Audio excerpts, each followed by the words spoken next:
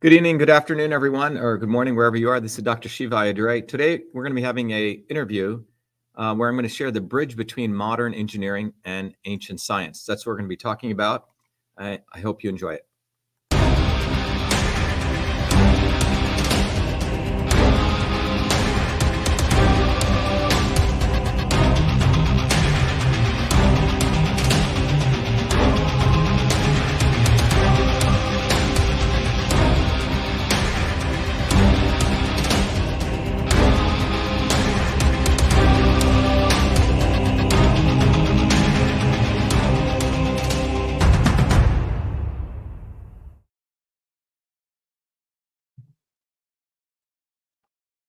All right, everyone, we're going to start our interview. Let me just go live one second. Let me bring our guys in.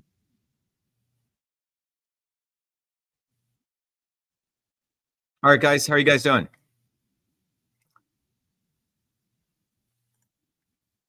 Yeah, I think we can go right in. Yep. I wanted to say before I'll start that. Um, we usually do an intro, but we could cut it short if you want. Yes, no, I would just, first of all, thank you very much for joining us. Um, I'd just like to ask you, because we have filed up a whole lot of questions, is there anything in particular, uh, aside from what uh, your team had mentioned in terms of the things you develop currently, is there anything new that you would want to discuss? Just so we make sure we give time and space for that. I, yeah, I'm not sure what you, guys in the team shared, but you guys know I'm running for president. And we have yes. a number of solutions that we can go through from Great, cytosol yes. to system stuff, but at the fundamentals of it is it's system science. So Great. wherever you want. Yes. Yeah. Yes. I kind of want to ask about that. So there yeah. you go. Oh, no, definitely. This system science, systems theory, control systems. I saw you uh, this last yeah. interview you did. This is the most important thing. What I would like to ask, I'll just throw it out at you right there because I don't want to, you know, jump you and everything is in perfectly good faith, just so you know right from the start. So one thing I'd like to ask you about, because a lot of the audience they know about these things and are very interested. One would be your perspective on NASA and the whole moon landing story Oh, yeah, there was a super chat asking if they would ask. Okay, we'll get that in there too. Mm-hmm. Um, a second thing is about uh, COVID and the whole issue and question of vaccines and virus isolation. You may be aware that many FOIA requests had been filed, for example, by Christine Massey, and also uh, Dr. Stefan Lanka redid the original experiment, whereas he showed that basically there is no control group in original virology experiments if you're familiar with that. I'm not sure. Well you could criticize all these experiments i'm sure we can talk about you know the issues with you know so the, the issues basically with the basis of virology is something that many people are interested in. And then just uh, the only other thing would be about the wellness company which i'm not sure you had heard about. A very interesting group that apparently uh, is attempting to AstroTurf, all kinds of alternative media channels as an alternative health network, but actually funnels the money, money into mRNA research, which at least those supporting these channels most likely would not be most happy with. Are you familiar with that company? yeah, let's just, why don't we just jump right there? Yeah. All right. All cool. these perfect. If yeah. you're fine with all of that, or just because yeah, I don't want to jump you, like I said, then we just go in. All right, perfect. Yeah, I'm glad right. you're asking these questions because it goes at the heart of what's going on, which is what I call the not so obvious establishment. Awesome. Well, this is exactly where we want to go. Yeah. Perfect. So what what people really need to get very very critical on. Hold on. Well, of, we should. Well, before you yes, tell we'll us, just, we'll sounds like really important stuff. Yes.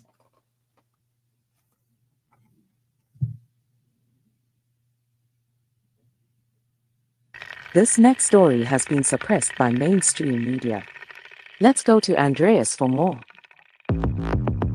Everybody, tune in to Recent Tartarians. Recent Tartarian. Hello. Welcome to the Exatos.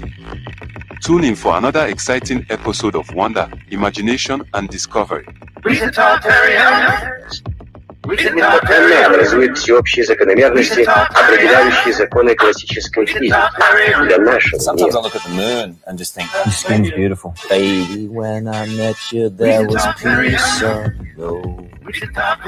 Что касается энергии нано, то она превышает ядерную в немыслимое число раз – 10 в 74 степени.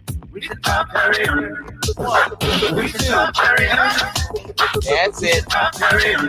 That's it. That's it. With your arms now. That's it. That's it.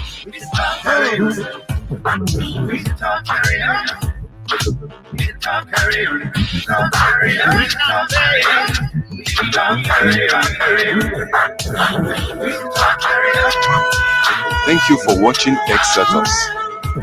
Keep listening.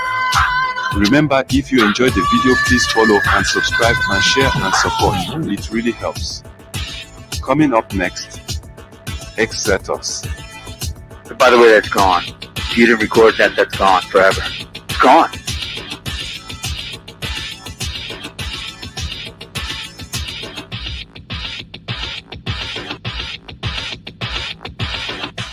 Hey, everybody. Well, we have a really exciting show. Um, I'm excited to introduce Dr. Shiva. How are you doing today? I'm doing good. How are you guys doing? I'm fantastic. I'm really excited. For years, I've actually, you know, there's this is kind of an interesting moment, right? I feel like for myself to get to meet the person who invented email, essentially the patenter, uh, amongst other things that you've done in your life. This is a re- really amazing contribution to everybody. Everything that we're doing right now is kind of based on uh, this kind of idea, this idea, right? So I wanted to thank you for that, and then also say, you know, maybe you want to introduce, you know, uh, that you're running for president now as well. Yeah, look, we're running for president in a solution-based model because what's happened is if you look at all these, the entire um, political model, excuse me, is essentially um, a racket that's all theater, and it's essentially a theatrical model that's positioned to make sure that working people never build a bottoms up movement and people don't take matters into their own hands and raise their consciousness. That's what this is all about. And that was very, very different from the framers of the Constitution. You know, you, you can look at even great religious leaders, philosophers, etc. The idea was always to compel people to raise their consciousness. And what we see now is not only a concerted effort by the obvious establishment, you know, the people who are the obvious fascist. But more importantly, I think right before we started, Raphael was talking about the wellness company. And you can see that the establishment has gotten a lot more clever to promote the not so obvious establishment, people who literally steal the words of the people who are actual change agents, mimic them.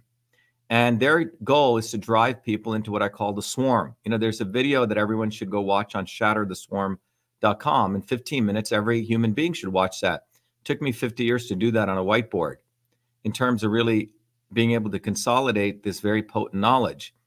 But we live in a, a very interesting time because every Tom, Dick, and Harry is talking about truth, right? Truth, truth, truth. Stupid Vivek the Snake or Joe Rogan or Fucker Carlson, all these people. But they're the farthest from the truth as you can imagine because um, truth is frankly passe unless it's powered by two other very, very important uh, elements. One is when are you telling the truth? When? When did you tell the truth? When? Did you come and say, oh, yeah, the building burned down and it had an electrical issue and we should have fixed it after everything's happened? And then you write a book about it like Booby fucking Kennedy does about Fauci, right? Do you talk about virology and the viruses maybe? Did you talk about it in 1993, 1994, which is what I did? When first, you know, John Duesberg exposed this against uh, Gallo and Fauci, or did you wait, you know, 20 years and say, oh, yeah, there's no viruses, and then create a whole bunch of shit around it? You know what I'm saying? Where the fuck were you for 30 years? And that, so when is important. And then the second part of that is, are you telling the truth to empower people to build a movement to destroy those people who've been against the truth, right? Or are you just saying it because now it's in vogue to tell the truth? And these are very, very fundamental questions because when a fool like Vivek the Snake has a truth ad on, when Trump starts Truth Social, when you know he's a Zionist cocksucker and has nothing to do with the truth, we have to raise a much higher standard. And my life has been about that. You know, I didn't have the luxury to just talk about truth. You know, I came from a caste system, which I was very interested in eliminating. You know, email was not done at MIT, even though I got four degrees from there the level of abuse I underwent when I humbly started sharing the facts about the invention of email when my stuff went into Smithsonian is a real story. You see, the fact is, it's undeniable. I have the code, I named it email, I have the copyright, it's black and white. Why did a bunch of liberal Zionist hoodlums create, even attempt? And this is where it, it's backfiring on them because everyday people are getting it. And so the story of the invention of email, the facts about it are wonderful education to see what happens, the, the vitriol that those in power do when things do not come from their tent, you know, from their bastions of power, profit control. That's why the invention of email is powerful because I, I was 14 years old. I didn't grow up in Silicon Valley where you had all the VCs, you know, and furthermore, I didn't sign non-disclosure agreements with IBM and HP were walking in and out of our lab. You say we did it because as a 14-year-old kid, I was quite amazed that I had the opportunity to even get access to mini computers, work at a medical school, going to NYU when I was 14. So all those things were quite uh, important, but I worked my butt off. You know, email was the a system. It's not the simple exchange of text messages. It's a system of all those interconnected features put all together, the inbox, the outbox, the folders, in an electronic form, in 50,000 lines of code, in 8K or less of memory, and delivered to civilians who were secretaries who had never seen the typewriter or the, or the keyboard, for example, and who these old white dudes in lab coats think didn't think women were capable of using the computer. That's what I did as a 14 year old. I had great respect for these women. And so just like Philo Farnsworth, the 14 year old kid in Franklin, Idaho, invented TV, which RCA stole from him. So great innovations actually occur on the edges outside of the military industrial academic complex, and they're not driven by power, profit, and control. This is a brainwashing that's been it's done. It's one of the most inhumane things that's been done. So the problem that they have is I'm still alive and I'm not a good Indian. You know, most Indians are supposed to talk like this and move their head and say, okay, you know, fuck me up the ass or something, you know, beat the hell out of me. That's what Gandhi did. Okay. I'm not like that. I fight back. And this is what bothers these liberal elites who are actually the real racists. The real racists are the liberal elites who want to keep you in your little box, me in my little box. And as long as you're in that box, then you're okay. Okay. But as long as you step outside of your box, they don't like that. Right. They don't like the fact that a non nerd looking guy actually invented email. That's what really bothers them before he came to MIT.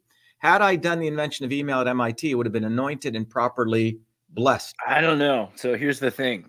so I've been wanting to say this for a second is that like you got to think about how the MIT system, how these military industrial complex systems worked for the WASP. Like they're designed to have a centralized. This is exactly how Facebook and everything is now, right? You have a central thing. This is the opposite of email. Your idea is completely it's peer to peer, right? This is so if some kid wanted to send a file to somebody else, like the mail, it's the it's counterintuitive to the elite what you came up with. I don't think it could have come out of. Not only that, what's also interesting, Andres, when I when you send an email through my system, I never transported it and we it was done very efficiently. Email was there was only one copy of it. You say? Wow. In some ways, it was a reference to it. Now we send. I mean, we we waste a shitload of memory when we send an email. When you think about right. it, okay, right. So, and every feature was in there. But the point is, after I came to MIT, I did many, many other innovations. I was on the front page of MIT for inventing many things. And that was when I was a good brown skinned model minority under the aegis of them. But when this went into the Smithsonian, you know, many years later, uh, when Time Magazine wrote an article that you brought up, this creates a contradictory problem because um, email cannot be invented in a non-white, right, poor working class community called Newark, New Jersey, outside of the military industrial complex, where the motivation was not military power. You see, right? It was for yeah. civilian reasons. In fact, many things have come out for civilian reasons. Um, and so the, the thing is, so that's what's that's what's so powerful about the story of email. Um, and then the journey I went through and having been very conscious about this thing called the caste system in India, and that's what we've created here. We have a modern day caste system, but it's a multiracial aristocracy which runs that caste system. Black, white, brown, you know, elites have to perpetuate this thing that um, you have to go to these bastions of power. And then when you're anointed by them, and you can even be a dropout like Zuckerberg or or Bill Gates, but it's cool to go to these institutions and act like you're a techie. You say? You know what I'm saying? Yeah. They they've created the genre of what an intelligent person must look like. Big glasses, must look like a nerd, you know, have a little twitch here and there, right? Have some weird oddity. And I used to see kids at MIT come in in their freshman year normal sounding human beings after six months having twitches, changing their voice, you know, you know, drooling a little bit, you know, talking, you know, waving their hands in these really weird gestures, right? Which they never did before. It was almost like you had to be all fucked up sounding and then you were smart. You couldn't wow. be a normal person, be a good athlete, you know, speak well, be social, and invent email. You see, that wasn't allowed. Same with the mad, the concept of the mad artist, right? Or the mad scientist. And when you look back at, you know, history and ancient science, ancient systems of yoga, ancient philosophies, the concept of the scientist, the warrior, the healer, we're all one. You were supposed to be a whole human being. All the archetypes are made up of that. But they this this dysfunctional siloed way of treating a human being in, in some ways is a is a relatively new um, phenomenon that uh, uh, took place. You say, and it and, it was done to basically isolate people into these silos so you could create automatons out of them because you could control them. The idea was not to have a human being who was a fully whole functioning person where mind, body, and soul were interconnected. Um, you know, the word in Tamil, which is probably one of the oldest languages on the planet, if not the oldest, um, the word Vaidyar means healer and warrior. Um, the concept of fighting evil and also uh, fighting against death were one. The archetypes of Saint Michael, right, or Murugan, Karthigan, you know, uh, you can look at these. They, they were one. You, they, they never. It was like united, right? Somewhere along the way, they literally went in and did all this very fucked up surgery to make these. Uh, essentially, shattered people's uh, who they were. And so you have all these people with all sorts of fucked up personality disorders now because right. they they they think they're supposed to be in these one little realms and it's not they've disconnected the human being.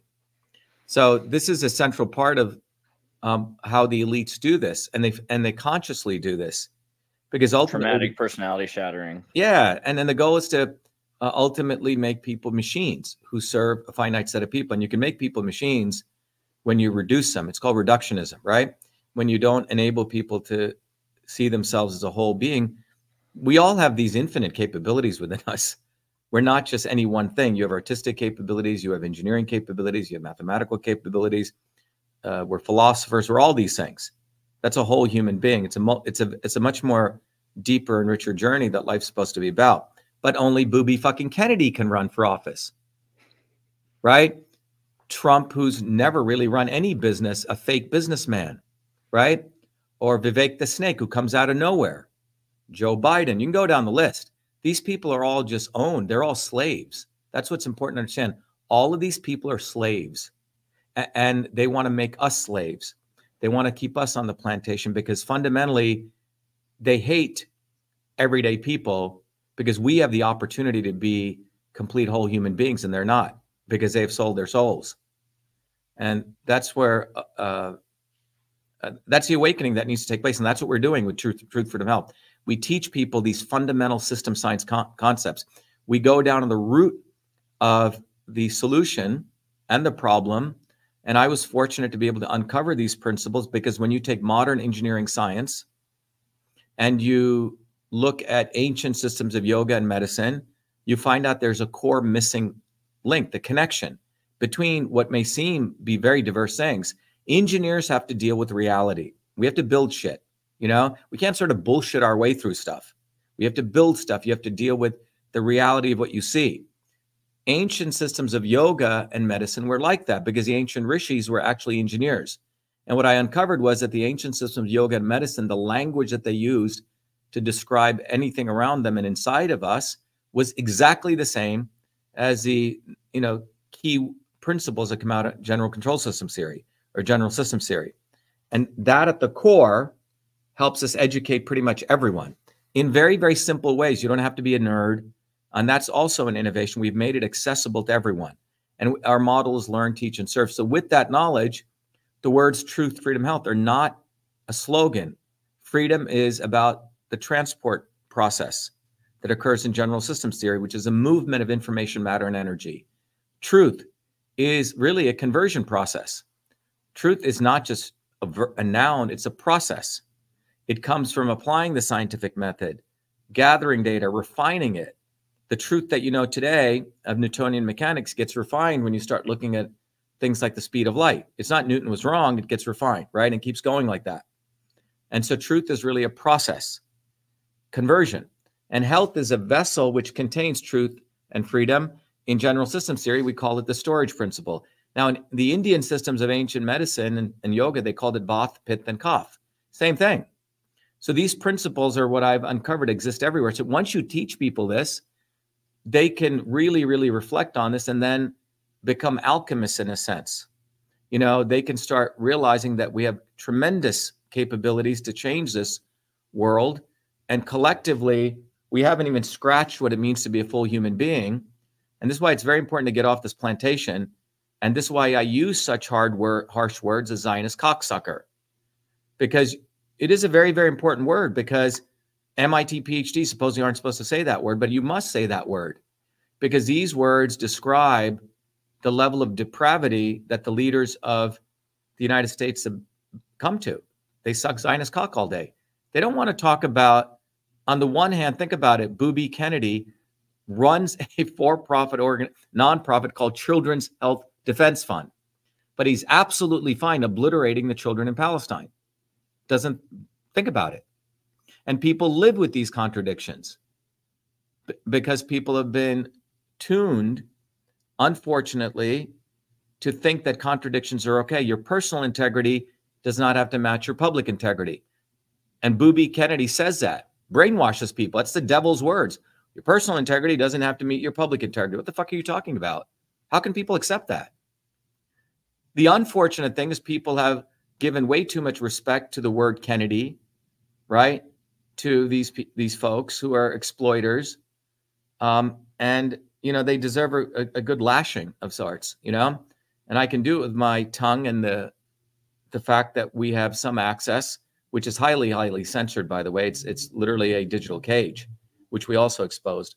But anyway, our movement is founded on this deep reverence for these ancient science, um, scientific principles, which have existed. You know, science doesn't go just exponentially like this, it's a cycle.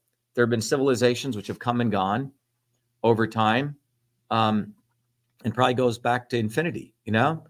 Um, and we will come and go, you know. Hopefully, one day we'll really realize what it means to be fully human. Um, but this has been sort of the big contradiction that uh, people deal with.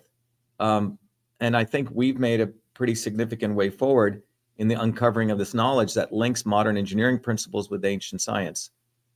So that's at the core of it. Now, my running for president, you know, if you look at even our bumper sticker, we encourage people to get one of these because when you get one of these bumper stickers, it's not, and you put it actually on your car, it's much more than sort of mentally masturbating or talking about running for president because the, you know, we have what, about two, three million followers on all these social media. But since I was put back on Twitter, they've just stayed the same. Facebook, 520,000 views for like three years. Okay. YouTube, you know, 20 million minutes of viewing, not one new subscriber. And this is the game that they play because in my you know historic lawsuit in 2020 where we exposed the censorship infrastructure long before Fucker Carlson did the limit limited hangout, right?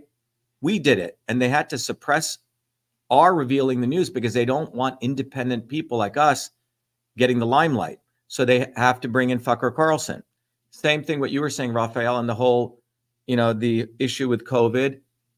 I was the first scientist to talk about it. We were not only talk about it, but expose it in March of 2020 and then give a solution, which is vitamin C, you know, quercetin, zinc, vitamin D3, which Zelenko essentially stole and bottled. But we gave it away. We saved hundreds of millions of people's lives. And you can go, I didn't see Peter McCullough there. I didn't see all these clowns in March of 2020. In 1993, 1994, you know, after I'd read Duesberg's work, I was the first one in my MIT class. You know, when we started discussing systems biology, virology. I said, you know, John Duesberg says that, you know, the um, connection between HIV and AIDS uh, violates Koch's postulates. And everyone said, what are you talking about? The guy in the front of the classroom was teaching. It was a guy by the name of John Essigmann. John's one of the leading guys in immunology. He said, you know, Shiva's actually telling something quite profound. because I have great respect for Duesberg. And um, uh, HIV does not, in fact, follow Koch's postulates. You see, that was Jesus 30 years ago. Where the fuck was all these other people talking about it now? Well, Fauci was around. Well, Fauci was the one. Robert Gallo at that time, G A L L O. Um, there was a. You can go uh, look this up in the front page of New York Times. He was found uh, to do fraudulent work on HIV. So HIV is a quote unquote a virus, and over here is AIDS, which is acquired immune deficiency syndrome, which is basically your T cell count goes down, you know, to 70 or less, right? So Gallo and others put forward this nonsense that HIV caused AIDS. Billions of dollars went into it. Um, the Nixon administration, uh, there he is. Yep. Um, and uh, his work was proven to be fraud. And who came to his rescue was Fauci. I remember my sister's a medical doctor, and I saying, "Look, HIV does not cause AIDS. It violates Koch's postulates." Okay. She said, "No, no, no, you're crazy." Anyway, ten years later, she said, you know, you're right. And if you saw 10 years later, they started calling it, um, uh, you know, AIDS related diseases. Okay. Very clever in their messaging. So, you know, the realities, tuberculosis, They've pretty much shown they've isolated it. You inject it into something, you can cause TB. Okay. So that follows Koch's postulates.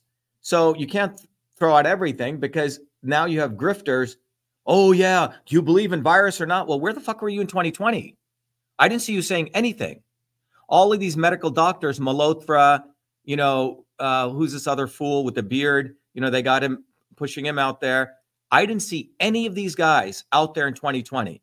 Booby Kennedy was promoting lockdowns. Trump was promoting lockdowns. So anyone looking for leaders, you got to look at what did you say? When did you say it? And what purpose was it? Was it to mobilize people or disarm people? I started the Fire Fauci campaign. In the middle of all the other shit I was doing, we took our rickety old bus and we collected 120,000 signatures, went to the White House, delivered it to Trump. He didn't do shit. I didn't see Kennedy. Kennedy literally stole all my material and writes the real Anthony Fauci. He's a fucker. He is created by the deep state. He exists because of the deep state. His family is a bunch of fucking gangsters. You know, one wing of the establishment knocks another wing of the establishment off, and we're supposed to feel sorry for them. What are you supposed to do? Feel sorry for Vito Corleone, you know, because he got bumped off by whatever the Tagazzi family, whatever hell it is, you know, and Godfather, right? This is what people. This is what they got people doing. They're all fucking gangsters. So we have to raise our consciousness and understand these folks do not give a fuck about you. Why are the why the fuck are you giving a fuck about them? But when it comes to truth, Fucker Carlson is their latest deep state ally. The guy never tells the truth when it needs to be said. He waits. His family is all CIA. He's CIA. He's as deep state as you can get. So they have a cabal now that they've created Joe Rogan, Alex Jones, Fucker Carlson, Donald Trump, Vivek the Snake. If you notice, in all these doctors who claim they're fighting COVID, the wellness company, they're all sort of aggregating but they're they're really the neo establishment. And concomitantly, they're creating the opposers to them, the fake attackers like the Candace Owens, you know, who's, you know, I mean, she's a media whore. Come on. Now, when it's in vogue to talk against Zionism, she will, but not really, you say? Not about ending the occupation of the United States. So they have it down to a science. But our movement, the work that I do, exposes this so people understand the system's dynamics of this so they can liberate themselves. So that's where we are. Telling, you know, wearing a hat that says truth, truth social is bullshit. When did you fucking tell the truth? Have you ever told the truth at the right time when it mattered? That's a question we need to elevate people's consciousness to ask now.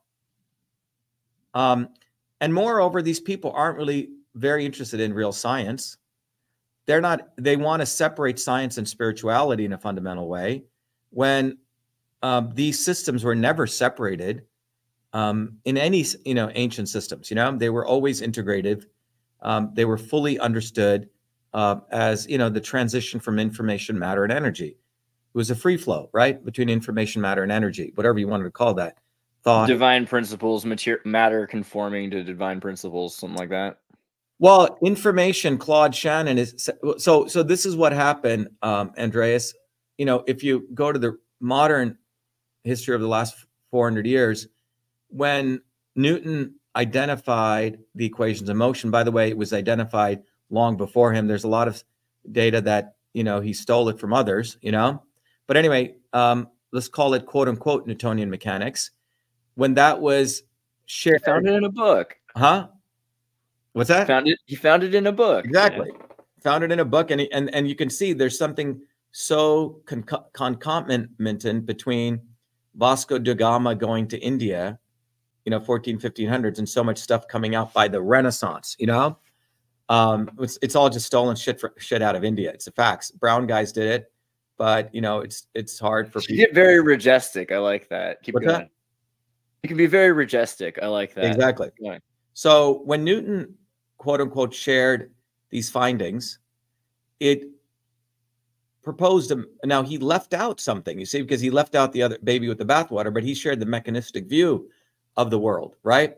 That time moved backward and forward in this mechanistic view. You could predict the motions of things, which means you could predict the motion of you and me, right? And from that point, the trajectory of that mechanistic view brings us to today where social media people think they are going to gather all this data on you and me and they can mechanistically describe you and me what, what we're going to do next predictively they can do predictive analytics so with that knowledge this worldview emerges that you can manipulate the world you can control it and channel it so if i take all of dr shiva Ayyadurai's followers and i find all of his followers profiles of some variables of let's say 3 3000 variables i can develop a multi-dimensional vector space.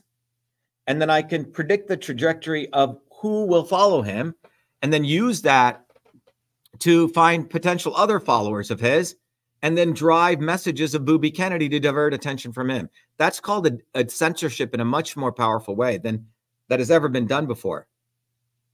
That's what's going on now.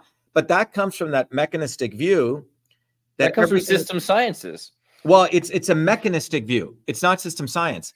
It's actually a reductionist view of assuming everything in the universe is mechanistic. You see? Now,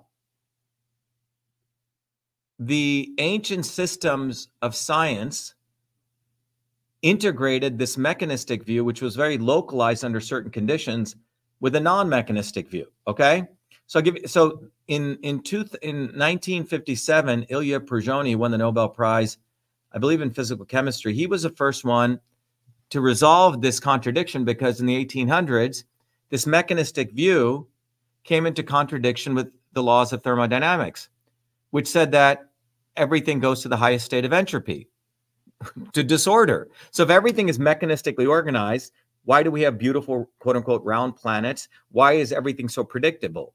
Because that shouldn't really exist if you have a worldview of the second law of ther- thermodynamics, which says everything goes to its natural state of disorder, this didn't make sense.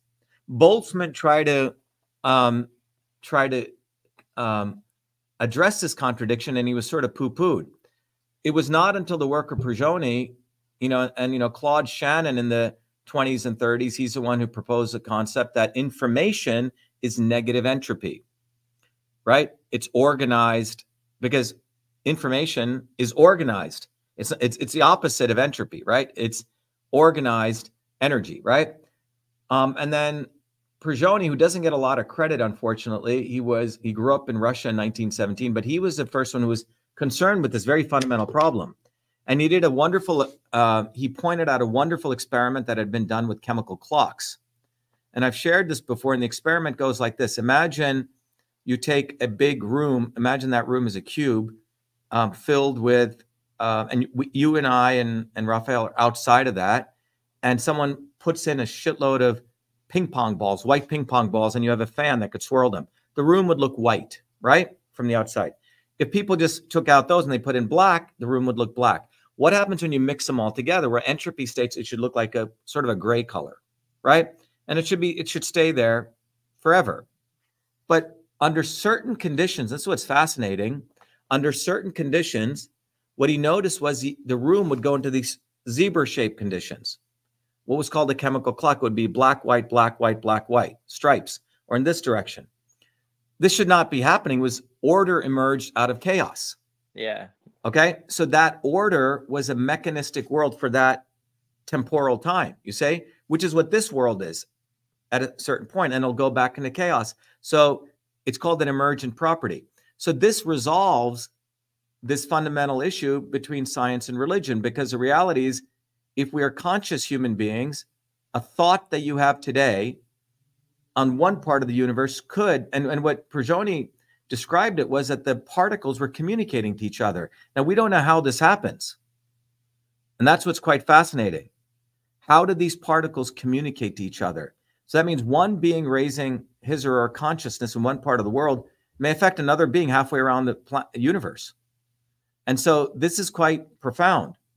And so we can create these emerging, emergent phase transitions, which, you know, in system and revolution, I called that a revolution. So I define what a revolution is. A revolution is a phase transition when you create a self-organizing system. So our movement understands this. And our goal is to raise consciousness. The more we fucking hammer at booby fucking Kennedy and call these people Zionist cocksuckers, why is this guy calling him a Zionist cocksucker? That's an awful word. You shouldn't use words like that. Yeah, why shouldn't I use words like that? You lead to that question. Why am I using words like that? Why did I use get off the plantation? Well, now you're going to have to do some soul searching. Or do you want to be an automaton and say, why are you using words like that in a reactionary way? You see, so these opportunities, these educational opportunities that we're creating, why don't you get on the ground and help us collect some signatures? Why don't you go hand out a flyer? Have you ever done that? Or have you just been behind a machine all day? Have you ever gone in front of a Walmart and said hello to someone and tried to hand a flyer and have a discussion with them with your eyes meeting theirs? No, you haven't. What happens when you do that? Well, you become very vulnerable. You have to talk to them. Okay. You can't be like, you know, smart all the time. You have to figure out the right words. Right. So these are musculature in people, musculatures in people's body that haven't been exercised. And those in power want us not to exercise our societal capabilities and be human. And so that's what we're doing. Um, and I think it's quite interesting to observe, and is that uh, I'm probably the most shadow banned guy out there. You know, when I was put back on Twitter in 2022, Elon Musk thought I'd go suck his whatever off, right? And what I noticed was the first tweet I did since, you know, I was thrown off Twitter for exposing the backdoor portal into Twitter in my federal election campaign. And when he and when he supposedly became the free speech guy, all these conservatives started bowing to him and then he brings in Linda Yaccarino. What he and they're selling and they're selling uh Twitter data. That's like the that's all they're doing. Week. Yeah, they're selling Twitter data. They're giving to people... the secret, like to the to the NSA. Well, yeah, I mean, if you look at this diagram here, I mean, this is what was uncovered in our lawsuit. Okay, this is a woman that threw me off Twitter, the general counsel, and she used this infrastructure that I uncovered. This is 2022. All right. Wow. All right. All of this is in our lawsuit. We uncovered this, not this fucking douchebag Mike Benz who fucker puts on. Okay. Stealing. I mean, this is hard day's work, man. That's like a third PhD. We discovered the entire architecture in 2020. My lawsuits I did by myself. I'm not a lawyer. My lawsuits were so well written that the opposition, Twitter's general counsel, said, I didn't write those. You see, because most lawyers do not want to take the government on. Lawyers, they don't fight for you. They'll, you know, they'll do business contracts. But they do not want to take the government. The judge wanted me to just go on Twitter in 2020 and drop my case against the government. I refused. And then they flipped. But I'm going after them against CISA. This is long, four years before Fucker Carlson even talked about it. In fact, I wrote to him. I have all the emails. He concealed it. Glenn Greenwald concealed it because they do not want independent people who are off the plantation getting the limelight for doing the hard work. They steal our stuff because they want to keep people connected to the establishment.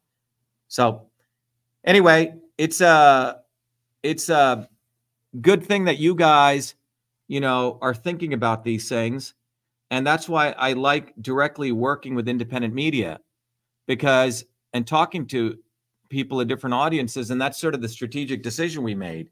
Because if I go on Fucker Carlson, first of all, he's never going to put me on. because he'll lose all of his audience. Joe Rogan won't. Joe Rogan follows me. Booby Kennedy sends his minions and they literally steal our material word for word, man. Declare your independence is our slogan. You can see it since 2018. So, this is what the swarm does they do not want independent, truly independent movements coming. And they know they're coming. And so, in retaliation for that, they replicate us. That's why when you talk about the well wellness company, are you fucking serious? You're not the wellness company. You waited, waited, and it's a CIA technique called a limited hangout. You heard that word? I'm sure you guys have. A limited hangout is a technique that came out of the Nixon era, where you know that um, the big truth is going to come out. So you titrate the release of it, half truths, and then you own the truth, and then you do movies and Oscar award winning things to act like you're the ones who released it, and then you just hope it goes away. So I think that's relevant to Stellium's question there. Yeah. What? Yeah, I'd like to know if he thinks we've landed on the moon. Look, um, I think what needs to happen. Uh, by the way, there's a movie coming out. I was just, I don't know if you know, someone's doing a movie about this. Have you seen this? Like a mainstream movie. Really? Yeah. They well, they're probably it's the elite. Is it the Illuminati movie film? Usually, it's again like you just said, like a soft disclosure. Thing. Yeah. So yeah, they're doing movie. everything I've seen. Just so to say for a second, like I've been seeing what kids' movies are now, and anything made for someone born after like 1999 it's it's like in legos it's assumed that the moon landing was faked for all children like they're all just taught that now well look i think the issue is this um since 1970 there was an act called the mansfield amendment which was passed okay? So there was a shitload of money that used to be just given away to scientists to do just basic research you know and they would do what really great research. Like they there weren't any strings attached to it i don't know if you have that up yeah so if you read about the mansfield amendment what's interesting about it is um, even though if you look at the military budget there was a little piece of it which they just said we don't give a fuck we're just going to give it away to some guy in AT&T bell lab some guy to and they didn't tie that scientist down. It was sort of contradictory, right? That guy could do any, you know, so he was in some basement doing wild stuff and people left him alone. Then what happened was after the Vietnam War, the understanding was okay, we don't want military re- only research for the military could be used for basic research. So the two organizations, the NIH and the NSF, the National Science Foundation, the NIH, which by the way, if you are, let's say both you guys get your PhD and you're on the academic path. So you go join University A and B, they give you seven years to get tenure. Tenure is basically after tenure, you can basically do whatever the hell you want. You know, you, you get paid a full salary as a tenured professor. But to get tenure, how do you get tenure? You have to write papers and you have to bring in grant money into your universities. And if you bring grant money and you write papers and your papers are heralded by the others in your particular specific area as great research, then you get tenure. It's sort of you have to ask KISS to your people and they say your research is good. You say their research is good. There's really no innovation. So what, what ended up happening with the Mansfield Amendment is when um, it basically moved this, what was a relatively small amount of money in the military budget to the NSF and NIH, which controlled it under the executive branch. So research became highly politicized. Scientific research, innovation research, you see? And it started around the Kennedys' time. You see that this the rumblings were going on. This is why Eisenhower sort of gave that speech, right? About the military industrial academic complex. He actually said military industrial complex. His original speech said military industrial academic complex. Jay Stratton who was on the White House Council, was a professor, who was a president at MIT, took out that word academic. So it was originally a triangle, military. It was implied, you know. What's that? It's implied. Yeah, obviously. but it was explicit in the speech. um, right. William Fulbright at a at a talk that he gave at a state university brought it back. Okay, because it was all these three people involved, these three entities.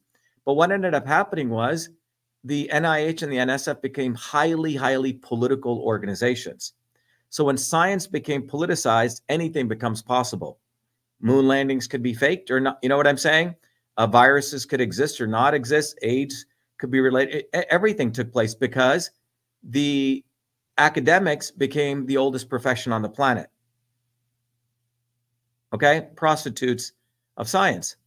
Most of these academics are not that bright. You know, it took me a while after my undergraduate year at MIT to realize like a lot of these professors were not that bright at MIT.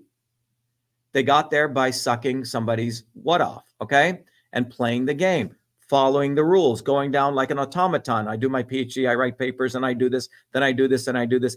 They weren't that bright guys. That's a conclusion I came to. And that may seem quite arrogant, but it's what I observed. There it's, were it's a current news relation, but uh, maybe you've heard on social media is blowing up with this the current scandals, let's say, in the entertainment industry and all the stories going around there. And just also there, it seems not all the greatest heralded artists actually can even necessarily write a single line of a bar or a lyric. Just like with some programmers that are the most relevant and known today, maybe can't even write a single line of code. Yeah, I mean, I mean, what's interesting is several about last year, a guy called Kanye West calls me Okay. And um, this one of our guys who knew about me, and Kanye says, Dr. Shiva, I want to work with you. I want to learn everything you're doing. And so I said, Kanye, you need to. I think he was thinking of running for president. I said, Kanye, you don't know anything about politics. Why don't you actually learn it and study it? Come down here and, you know, we'll teach you system science. You know, you can actually understand. So he said, okay, okay, I'm going to get my private plane. I'll be there. I said, okay. And then he cancels. Okay. And then he calls me up, a long conversation. He goes, I want to understand everything you're doing because I'm going to plagiarize all of it. You know, Jay Z taught me how to rap. Da, da, da, da. You could see the level of insecurity in this individual, right? Had never, it was all these people. I mean, I used to live out in Hollywood, used to be married to someone out there. And what I learned was that 99% of these people aren't even trained. They didn't put in their chops to learn anything. They just were at the right location at the right time, pure luck. There's a thousand other people who could have gotten their job. And so they're highly insecure because they know it was pure fucking luck and they have no fucking talent. So that insecurity rages through them. And they are so scared shitless about that, someone will uncover that, that they hate people with actual talent. You see? And they're about plagiarizing work. It is the norm. And when I literally walked away from all that one day. A very interesting lawyer, she said, Shiva, do you know you saved your life? These people are vultures. They'll just steal your shit because they need content. They're like vampires. So yeah, you're absolutely right, Raphael. they none of these people, they, you know, and the few that have talent have to remain in their lane. You know, very, very, very famous uh, actor that is a household name. He said, Shiva, you know, five families control all of us. So these people are fucking slaves, guys. And because Hollywood is a slave, because academia is a slave, and this is why you have the lifespan going like this. I'm the only one, when I launch my campaign, if people go to Shiva for President, you can download a flyer. It is the foundations of our campaign because it intersects truth, freedom, and health. Since 1980, the US lifespan is going like this. It's not just the vaccines. This has been going on, it's a systemic issue attack on working people. It's an attack, the income inequality, the stress, the chem. It's a whole bunch of things. John Kennedy started it with the 1962 Vaccination Act. His brother, the other fucking Kennedy, protected all the pharma companies, Ted Kennedy. And then this fool, booby fucking Kennedy, acts like he's fighting against the corruption, but he says, I'm going to create safe vaccines. Really? The guy can't create anything except, you know, problems and get you know, problems where his wife wants to hang herself, right? Do you have thoughts on that though, in terms of safe vaccines? I mean, obviously, like you're a scientist and you're prag- you believe in pragmatic solutions. Do you believe in um, adenoviral transhumanism? And you know, can we move forward in that in any way, or how well, do you feel is? Okay, so this is they're asking a good question, Raphael. So if you step back and you have to ask yourself, there's infinite states that we could end up in. It's considered infinite, okay? We could end up in a, in a world where you apply this highly capitalist model of existence, okay? This imperial model, everything driven by power, profit, and maximization of power, profit, and control, okay? And if you follow that all the way through, it's going to end up in a very dystopian world. where it'll be a mechanized world where you will, um, because it's about maximizing profit. Why do you need all these human beings? Why do you need so many human beings? Is where that leads to. Why why can't 500,000 people own the planet and will make it our oasis? When that model, you have machines running it, you have a you have a finite amount, uh, right? That's what that leads to because it's about max. That's the modus operandi. So now, if the mo- modus operandi is truth, freedom, health, and some deep connection to something much deeper than you, okay, true consciousness and exploring that, that's going to end up in a very different world. It may not even require this much technology, right? We may choose to forego technology, certain technologies. We may choose in a very conscious way. Well, we don't want to. We don't need that. Okay, I don't need. Yeah, I can create all these, but I don't need that. Like you make this much deeper decision to say we're going to use technology as we need it, right? Now that is a very, very powerful position to be in. You say, but that requires the broad mass of people creating a world that serves all of our interests versus a 0.00001. Now, is that world destined to come into being? Nope. It depends on if we fight for it if there's an awakening to do that. So there used to be this thesis that if the world gets worse and worse and worse, workers will arise, right? Workers unite. Well, it's not it's not true.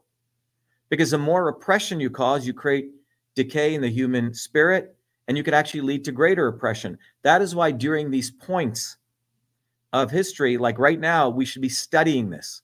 We should be understanding how we create movements, the science, the physics, and that's what we're doing. It's it, when the shit hits the fan, it's like, oh, we're suddenly going to rise up. No, you're going to have total fascism. You won't have the time to organize. You won't have the time to deliberate and talk. And so we live in a very luxurious time right now, and people need to use it wisely. So that's why, you know, I, I think it's very important to understand where we are, you know, um, and heroes meet history. History is going to move a certain wave. So, for example, consider COVID. Um, 2020, okay? Imagine if the movement for truth, freedom, health that already existed in 2016. When COVID came, it wouldn't have just been me in 2020 speaking up. It would have been 500 other people with that same articulation. You see, it would have been game, set, match over. This is why, just like we have civil engineers, electrical engineers, um, nuclear physicists, we have to train revolution engineers, people who understand the physics of change. It's not just going to happen from good ideas. Everything around us has not just happened, it's been conscious thought, information, compelled by action, moved by experience. You see, there's this triangle of consciousness leads to a certain kind of action, action gives you the experience, and then experience you raise your consciousness. And it's this process. Um, so if you, you know, the people who govern us reflect the state of consciousness. On that note, I mean, do you think the elite have uh, so you know you've heard about like Ep- there's all these conspiracies like Epstein cloning, you know, trying to put, get together money for like cloning and you know clonade um, celebrities talking about clone. Do you think that that the elite have the capacity for more than they're releasing to the public, and how much more, or are they just so inept, you know, that they can't even get mm-hmm. like North enslaved Indians and North Koreans outsourced to do it for them? I mean, right? What's an interesting thing, you know, many, many years ago, this is in 1970, a friend of mine who was working for one of these chip manufacturers was saying that Air Force from, you know, way up above could read the keyboard electromagnetic and figure out what people were saying. That's in 1970. Okay. Totally. All right. So if that's true, there is probably, I don't think it's inconceivable that there's a whole body of technology that has fully not been released, right, to the public, right? And that it is titrated or may never be released. It's preserved for certain strata people.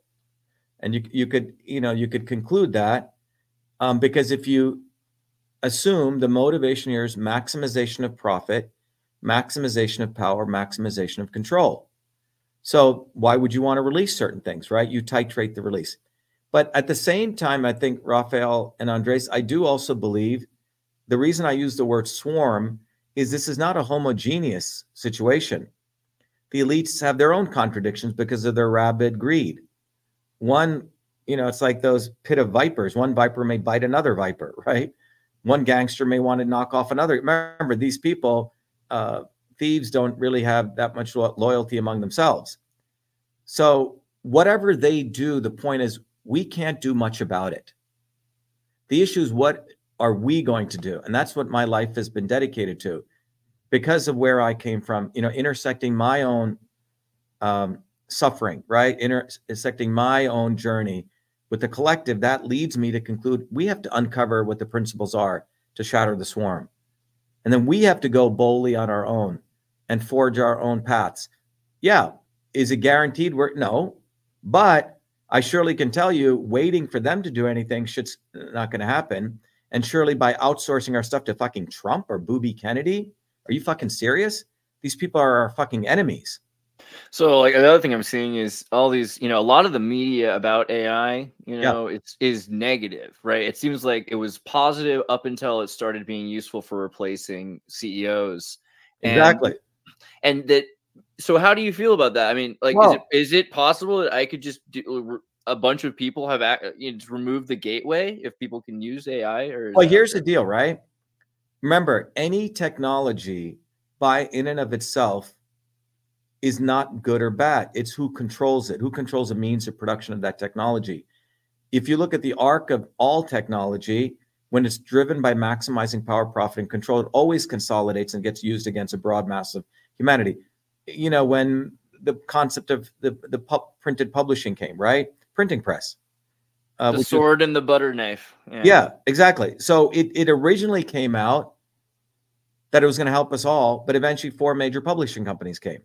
You want to get a book out, it's not going to get out there. Booby fucking Kennedy wants to get a book and get it out. It's over everywhere, right? So how the fuck does that happen?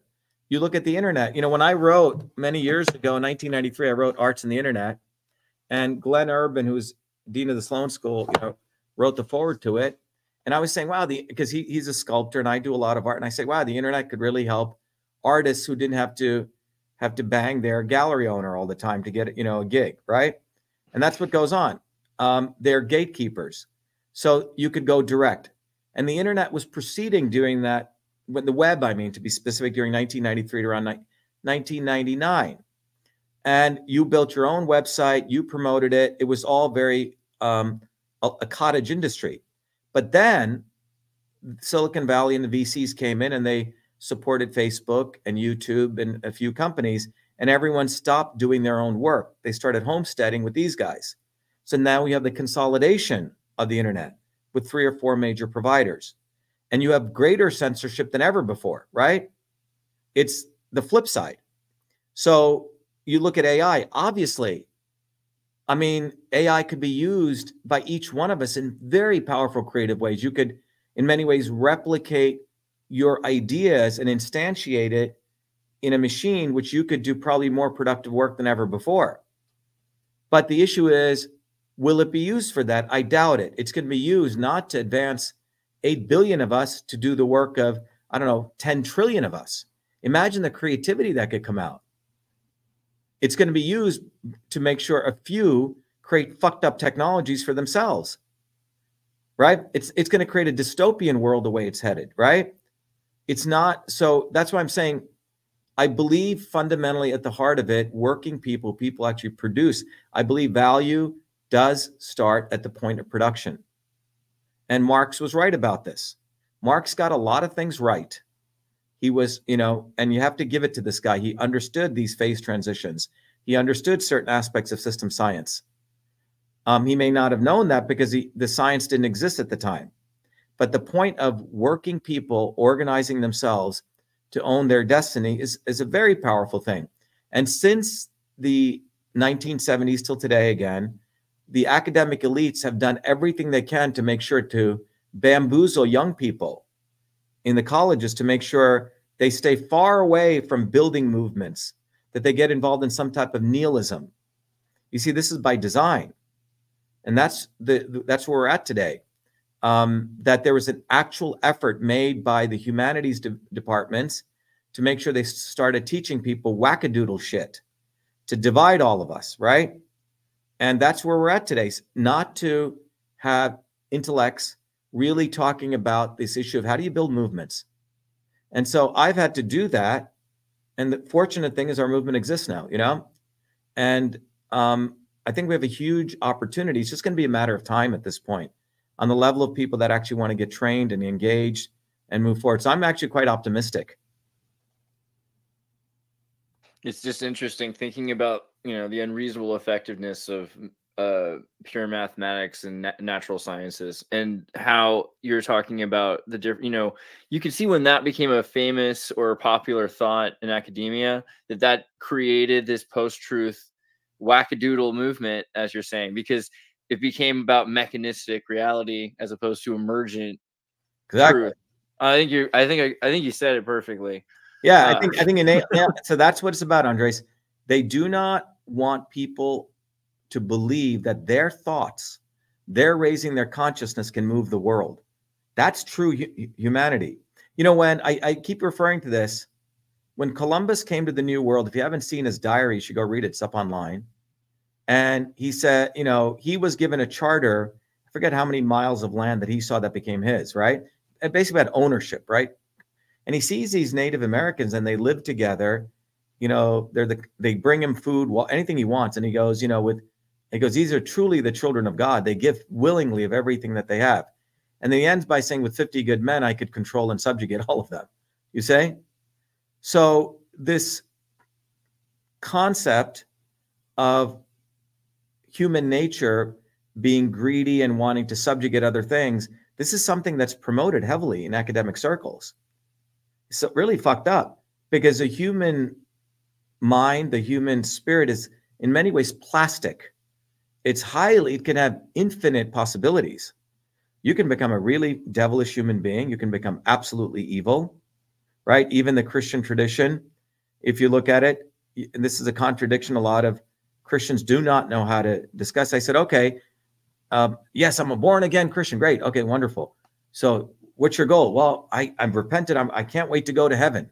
Great. And what happens when you go to heaven? Well it's a beautiful place. It's perfect. You know everyone's loving and kind and beautiful. I said okay so it's absolute perfection, right? Yeah, no bad thoughts. Okay, then explain to me why Lucifer is in heaven and he wants to annihilate God. Where did that thought come from?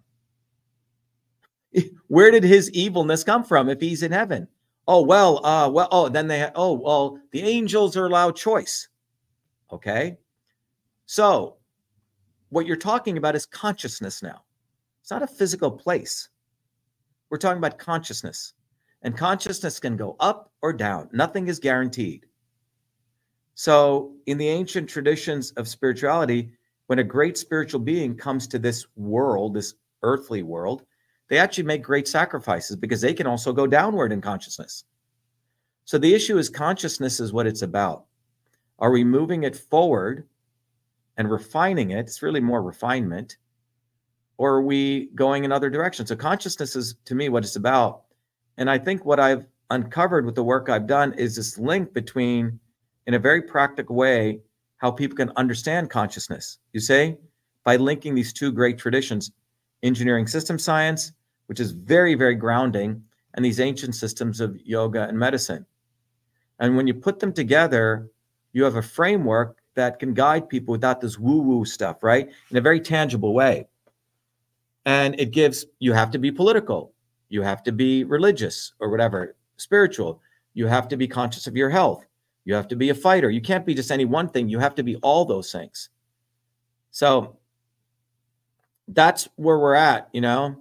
And I think um, because this movement exists now, um, and it's all over the world now, but our goal is not to convince people, Andres and Raphael. It's more to support people when they get to a point where they really want to uncover things, right?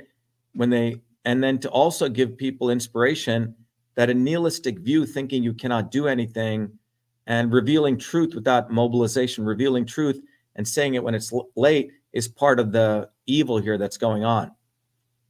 So as you you're talking about that movement maybe you want to share in which places for example it exists. And also since you have properly investigated and understand systems theory i was always wondering obviously now let's just say in a sense the brand or movement you're creating by definition would already be potentially a single point of failure let's say.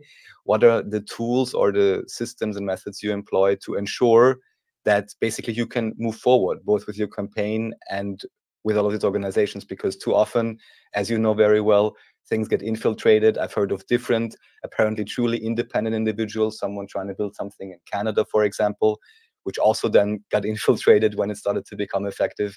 So i'm curious do you have any safeguards or what are your yeah. yeah yeah it's a it's a great question raphael. So think about it this way. First of all um none of this stuff just first of all none of this stuff just happens okay? Because you're bringing up a good point. Things don't just happen.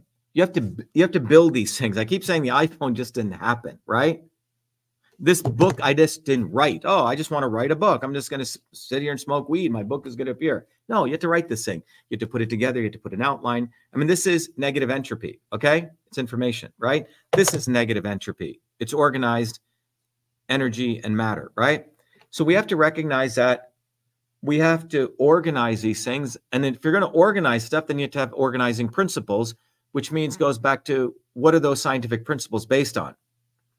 So our movement is fundamentally based on engineering systems principles, which I can teach to anyone now. If you get System and Revolution, you can just read one chapter, but it took me a long time to write. If you watch that swarm video, you can learn a lot. So the goal is to produce content and information that people learn and have what's called a dual pedagogy model. It's a model where you can teach someone and they can teach someone, and by teaching, they learn. Okay. So we've created that whole model of pedagogy. All right. So that's one. The other thing is um, there has to be this constant process of vigilance and educating people why you must articulate against the not so obvious establishment. So there's a lot of people say, "Oh yeah, I'm for medical freedom now." Right? You've seen them, right? All these wellness people. But none of them will take an axe to booby fucking Kennedy. That's a litmus test. You see, if you are actually for something, you must draw a clean, clean line and separate the wheat from the chaff. So if you stay silent on exposing Trump and you're talking about election fraud and fighting the establishment, well, something's off with you. You must expose these people, especially if you're an influencer. So we set litmus guidelines, right? Like very clear ones.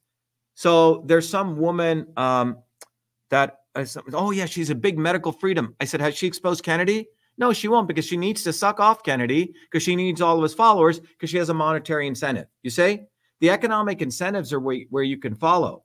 The other thing, Raphael, is do people walk the walk? Okay. Are they doing what they say?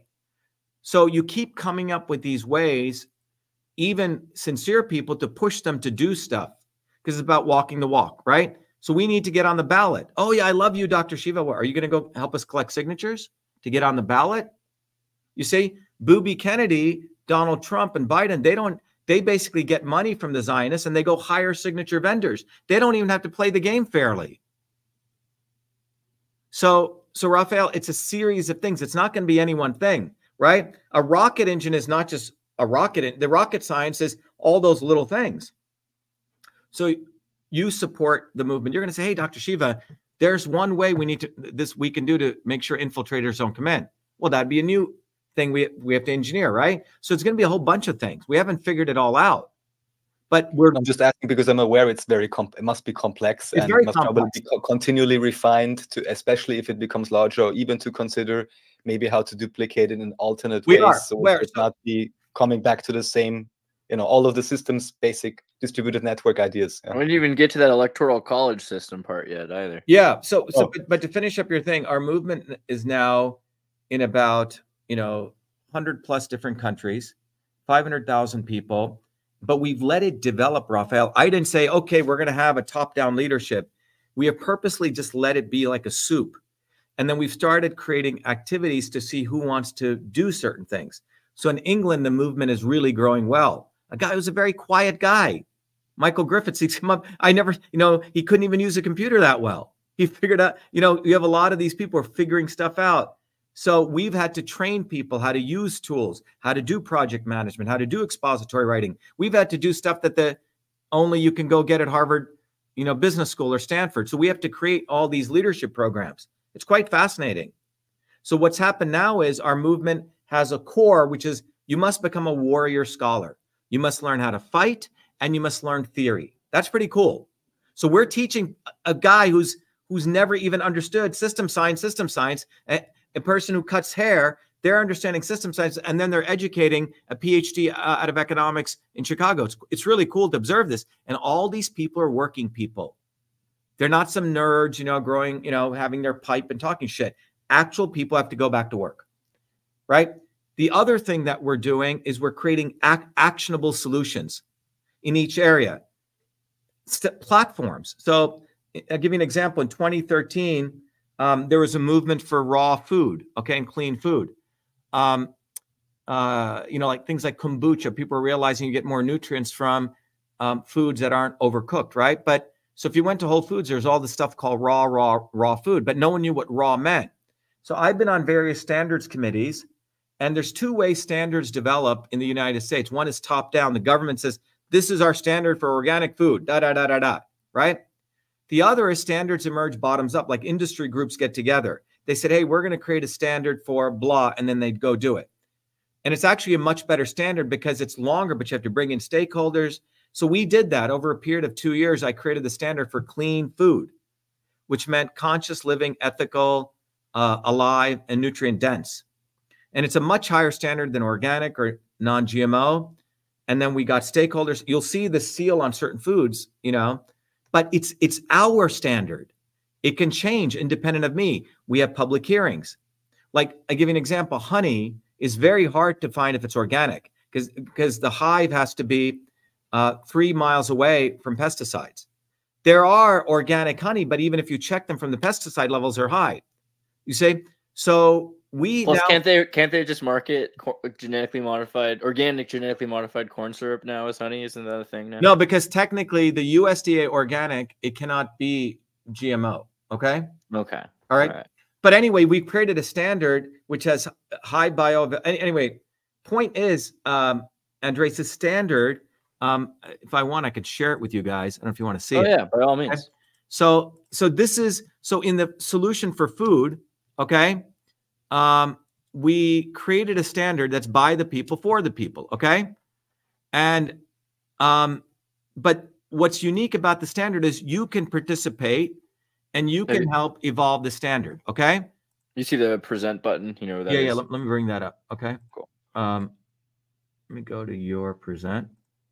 And if I share screen, okay. So this is an actual solution we've had for many, many years now. Okay. And if you look at the standard, it's a consensus based standard.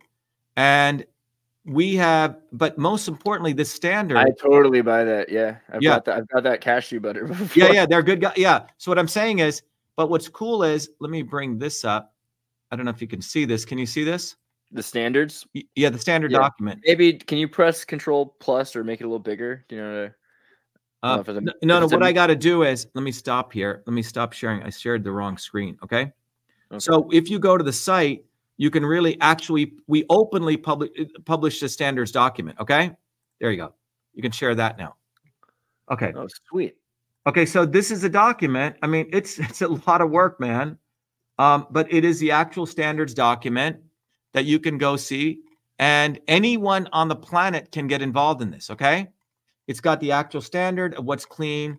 Uh, it's based on safety, minimally processed. We have a scoring system. But my point is, this is not a government standard. Anyone listening can become part of the standards committee and say, hey, look, let's, uh, is there a standard for raw food, uh, raw milk, right? Eggs. We can incorporate all those, you say? So um, let me st- stop. So my point is that we have created a standard, okay? I feel pretty good about the fact that I purchased. These are a lot of the things I get. Oh, really? Yeah, yeah. So, so yeah. Yeah. So what I'm saying is, yeah. So you can see these have to go through a very different, stringent process, and we openly put out here how much it costs, what you have to pay for it, and we made it, ex- and we hold public hearings. You see? That's uh, pretty. I mean, like, so I get that kombucha at Costco. You Yeah. know? Like, so that's that's awesome. I mean, so obviously it's a co- it's something that can be done, and it's not very it's not more expensive than other kombuchas. So clearly, it's they're able to do it, and it's I mean, it's not impossible. People make it sound like it's impossible to do. No, it, it's not, and we've made this accessible. You say? So accessible, exactly. Yeah. So so think about what we've done here. We now have a is it perfect? No, but we can keep evolving the standard and you can participate. You can say, hey, um, I want to get a clean raw for eggs. You can participate. What should the standard be? We put it up to vote. The public participates. So we have this standard. That's a solution for affecting the food system locally. But that's also good. So it gets into the like the the systems because again we were talking about how the systems are rigged for everything else. So you're talking about running for president in this insane legal. I mean, you know, it's kind of like running against Saddam Hussein in Iraq or something in the in the 80s or 90s. It's like pretty hard to to run against the house. It's hard to win the poker game against the house if everything's rigged. But you're also talking about how you're building all these systems that are independent. Exactly, are, man. That's that's the solution right there. It's a way better solution than anything I've heard so far from right. So so what we have um, uh, is that we have created my run for president gives it is itself a solution in some ways, Andres. Right? We're saying, look, isn't this what a real president looks like? Right. It's a model. comes, a guy comes bottoms up, actually does the work, actually fights for you, right? And you just have to get over your mental hang up. Oh, well, I don't know if he can win. Well, shut the fuck up then. Look what's going on to your lives. And let me bring up this other, um, you know, in a very, uh, I think, let me see which screen is up. Let me go to this one. Okay. Which one do you have up there? Let's see. You have that one. I'm not trying to figure out which screen you're showing. Okay. Let me um, share the screen then. Let me stop here. I'm going to present here. Um, I was at Raw Food, right? I'm going to stay there. All right. But if you go to shivaforpresident.com, what we're doing here is if you go to the free download section, um, you have this flyer. I think you guys may have seen this, right? All right. This flyer is up there. It's open sourced. You can download this flyer. And this flyer, if you see, starts with the lesser of two evils is killing your children. And it talks about the fact that what's going on right here, right? The life's expectancy of your son or daughter is going to be less than you. And Scott, Drastically. yeah, drastically, right? But this is not something that's, that just happened today. You see, the COVID people will say, oh, yeah, it's just because of the vaccine. No, it goes on here, right? For a long time. And what we're saying at the end of this is there's a way out of this. And you have to address healthcare, you have to address environment, education, innovation, governance, and economy. It's all these things that have to be addressed together. So for the environment, we have a solution. Let's go down to the food. Where is it coming from? Can we enable manufacturers to, if they're making good food, we give them a very, very good housekeeping seal of approval. That's by the people for the people. That's what clean food is. Now, when you go to healthcare, what we've done here is say, okay, um, so you know, for years, I spent a lot of time because I grew up in an India where my grandmother was a traditional healer, and I wanted to figure out how she was able to heal. So, what systems health has now become, I don't want to, you know, you have to be very careful with the medical establishment. We're not competing with the medical establishment. We're saying we've created an educational system and technology that empowers you to become a wise and intuitive leader, coach, yogi, guru. Use this system and platform to navigate and discover the right solutions for the right person at the right time. So, you know, after my Fulbright work, I created a tool and I gave it away to people. Problem is, when you give away stuff, people don't use it properly. It's like a monkey getting an ultrasound machine. That's weird, right? Right? It's really very weird. So, this tool, in many ways, is what my grandmother did when she looked at your face or ancient systems of medicine. So, I figured out a way to visually help. Let's say Raphael could ask you a set of questions and you'll figure out your system state in this field of transport, conversion, and storage of information, matter, and energy. A different set of question will evoke if you're in homeostasis or off, right? In the Indian system, it's called prakriti and vikriti, okay? In system science, we called it your natural state and your disturbed state. And the goal is you bring your body back to here. And how do you do it? Well, I've taken food, medicines, yoga postures, and created made them into what are called tensors. And I can calculate which things are right for you. So our model here is to create, um, you know, the next generation of what I would call, I don't want to use the word doctors, right? But you can call leaders, coaches who will help you figure out the right solution for the right person at the right time. What's going on right now is I'll give you an example. The health coaching world, Vidya. huh? Vidya, I think is the word. Vidya, yeah. Vid, yeah, yeah. So the the the the world of health coaching, the medical establishment. Getting back to what you said, Raphael, the wellness charlatans. So people know the health coaching world is going to be a thirty billion dollar industry in the next few years. So what are they doing? So the medical establishment knows people are leaving them and figuring out things on their own. Oh, I'm going to do some Reiki. I'm going to do some energy healing. I'm going to. But the problem is these all these people are doing yoga, but yoga that they do is just hatha yoga, which is just postures. They're not doing bhakti yoga. They're not doing uh, the. There's multiple systems of yoga. So what's happened is, as people are ripping away from the medical system, the same establishment, the old, the new guard, the Hymans and the Andrew Weils and the Deepak Chopra, they're running now health coaching companies. But all they're doing is they're just teaching people these verbiage, giving them a certificate, but not telling them that eating raw food all day may not be right for you. Doing a ketogenic diet may, may be good for Andreas at a certain point in life. So you have all these different situations.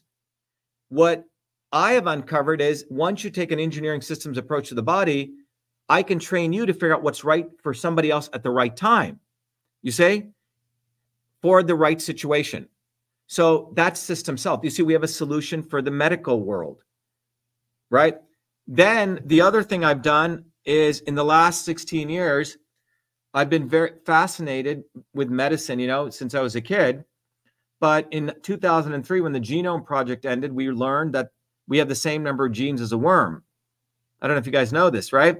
So if we want to um, understand the body as a system, we have to move outside of the nucleus, right? Your genes don't make who you are.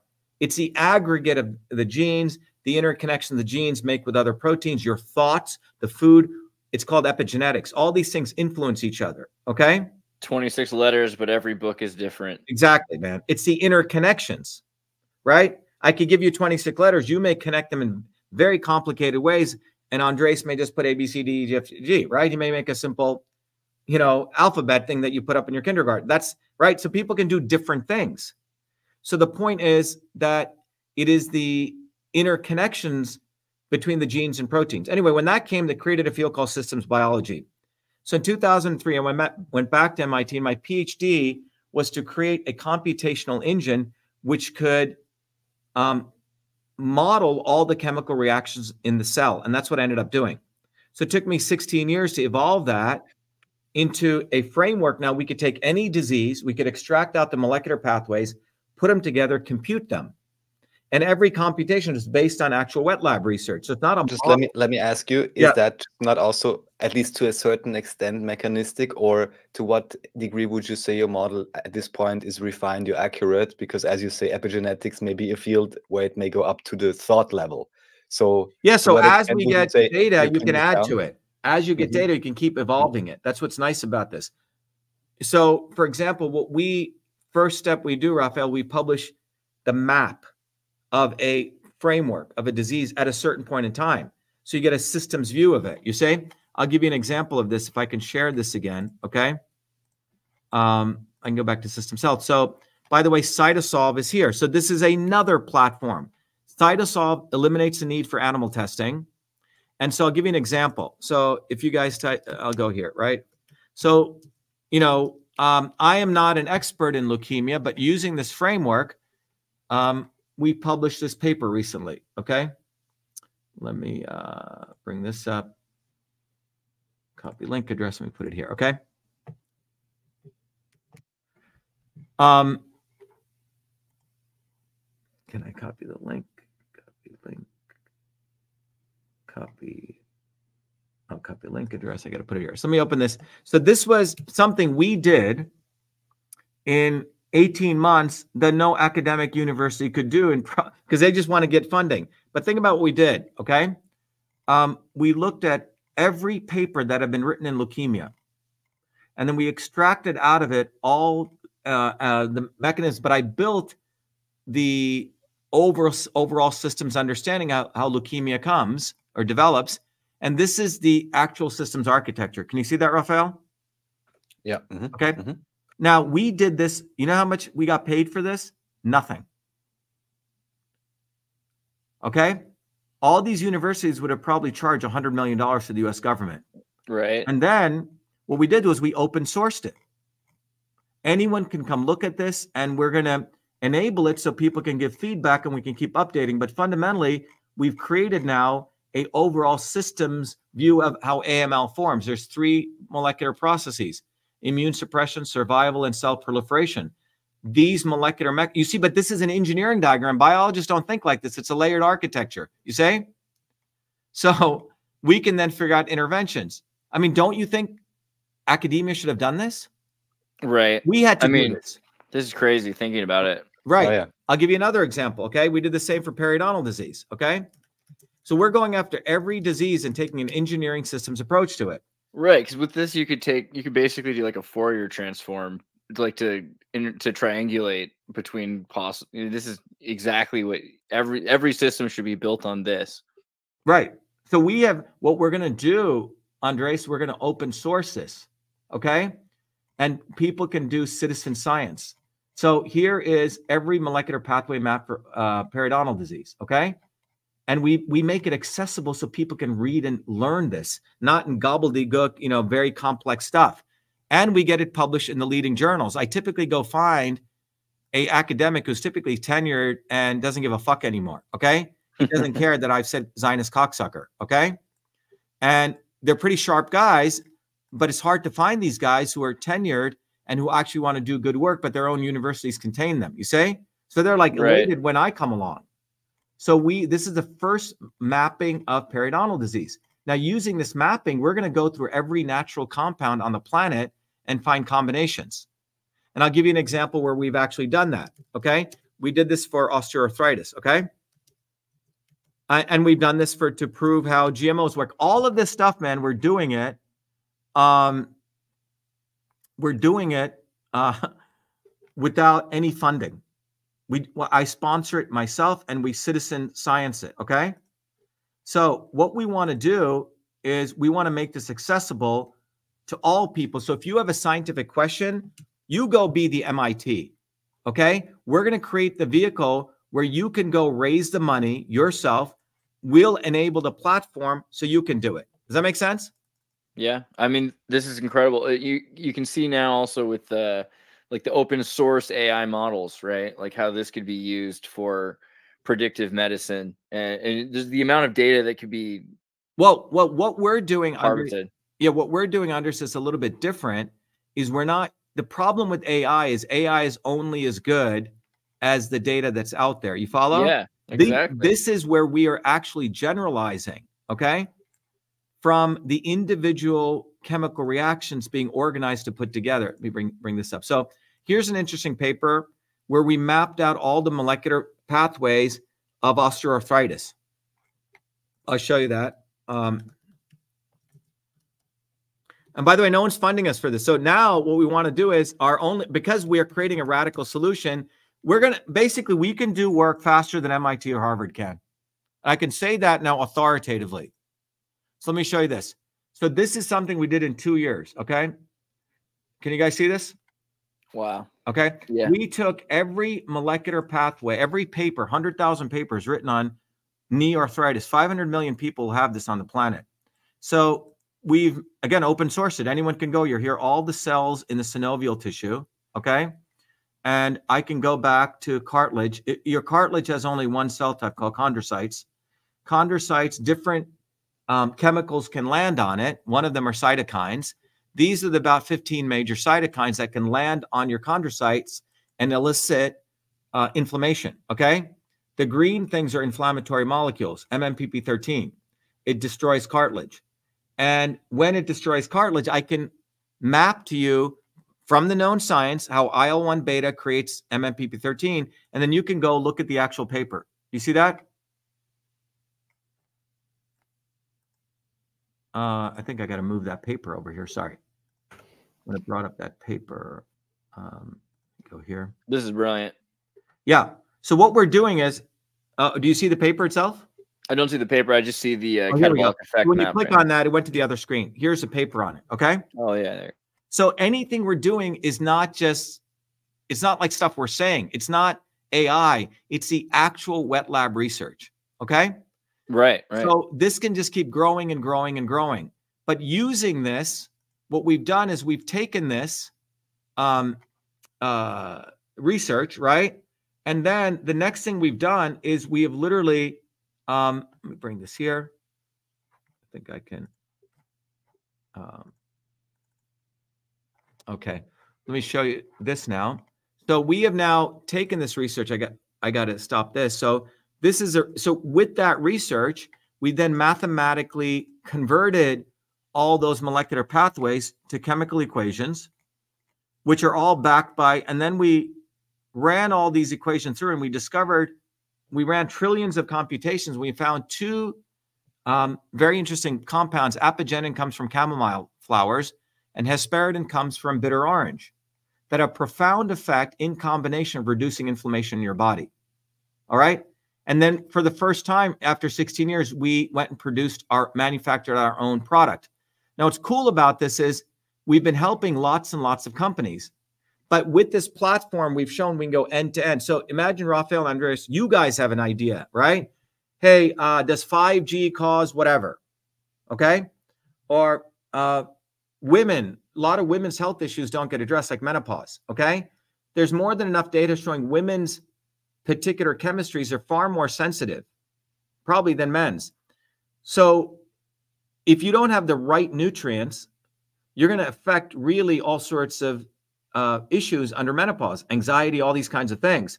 In ancient times, women ate a lot more certain foods which had certain level of minerals, you know, that gave you proper support, mental support. So with this technology, what we want to do is we want to say, Andres, you could be Andres Institute of Technology. You could use our framework, take a question, go raise your own money, be the benefactor, and perform the research. We can publish the papers and we can get it out there, but we can show all the evidence based mechanistic science. Okay. I have a particular project I need to propose to you afterwards. Okay. Very specific. Yes, but this is amazing. And I want to say, when I saw this map, or even just you mentioning, we can argue about base models and chemical whatever, but this work that you are showing there is what I would have expected the establishment to do. They're not going to do it, man. Yeah, of course. I know they, by now why, but they've degenerated into just getting grants, getting grants, yes. getting grants. If you talked, go. I get. I, I challenge anyone. Go to a university and go see go see what a professor is doing there.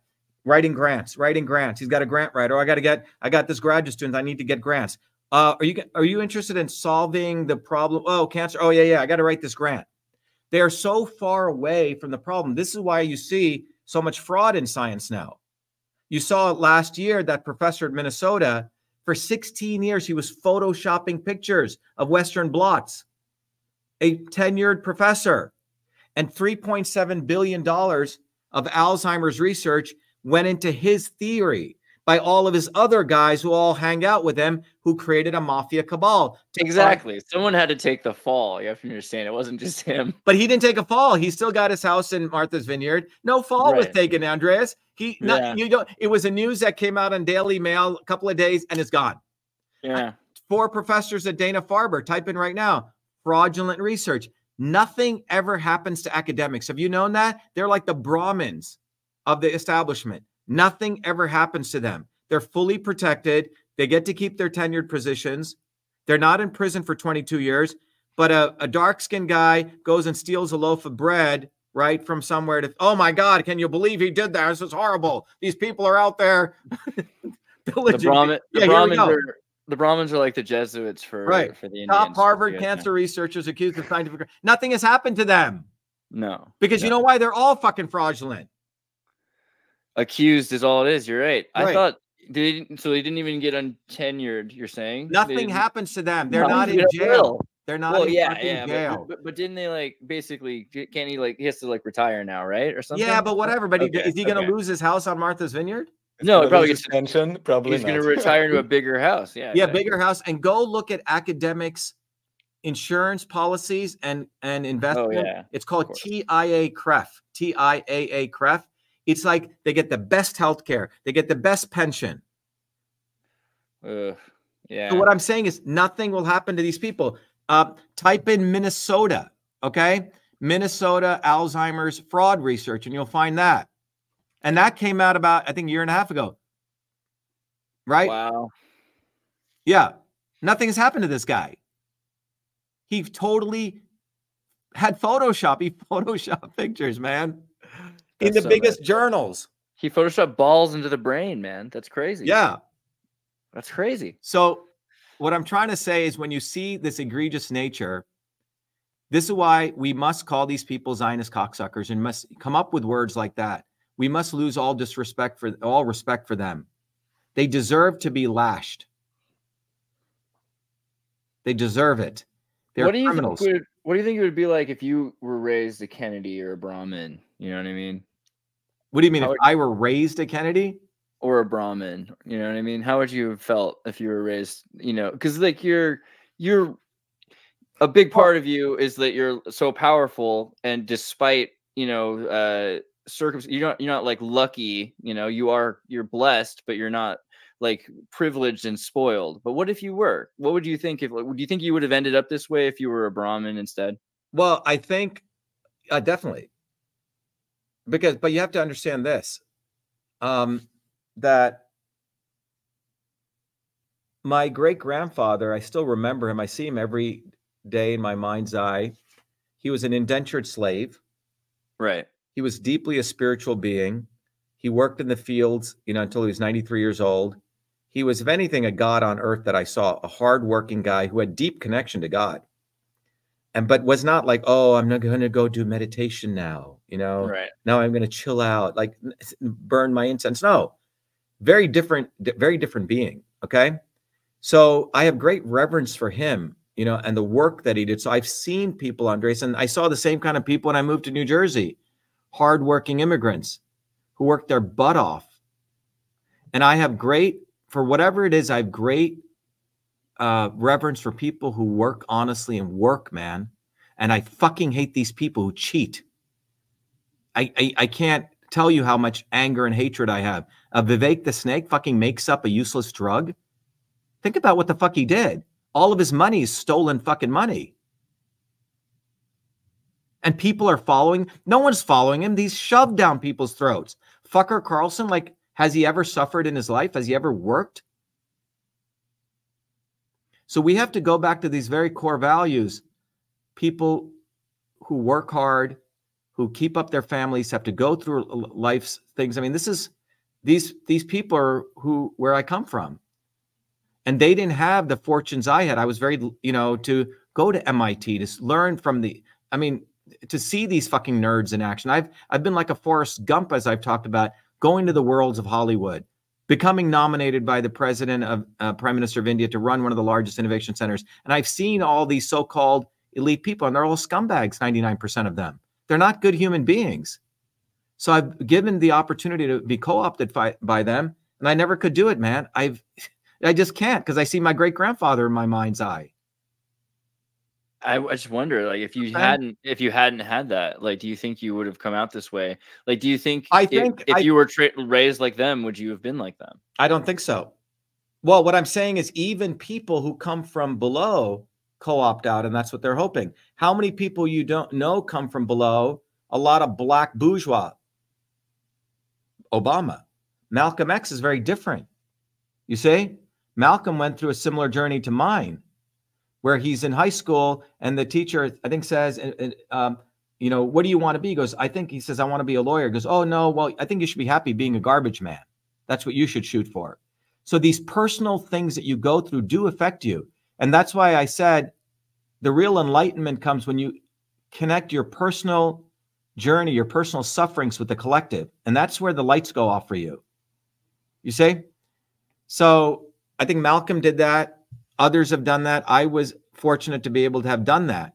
Not everyone does that, but I never forgot these hardworking people.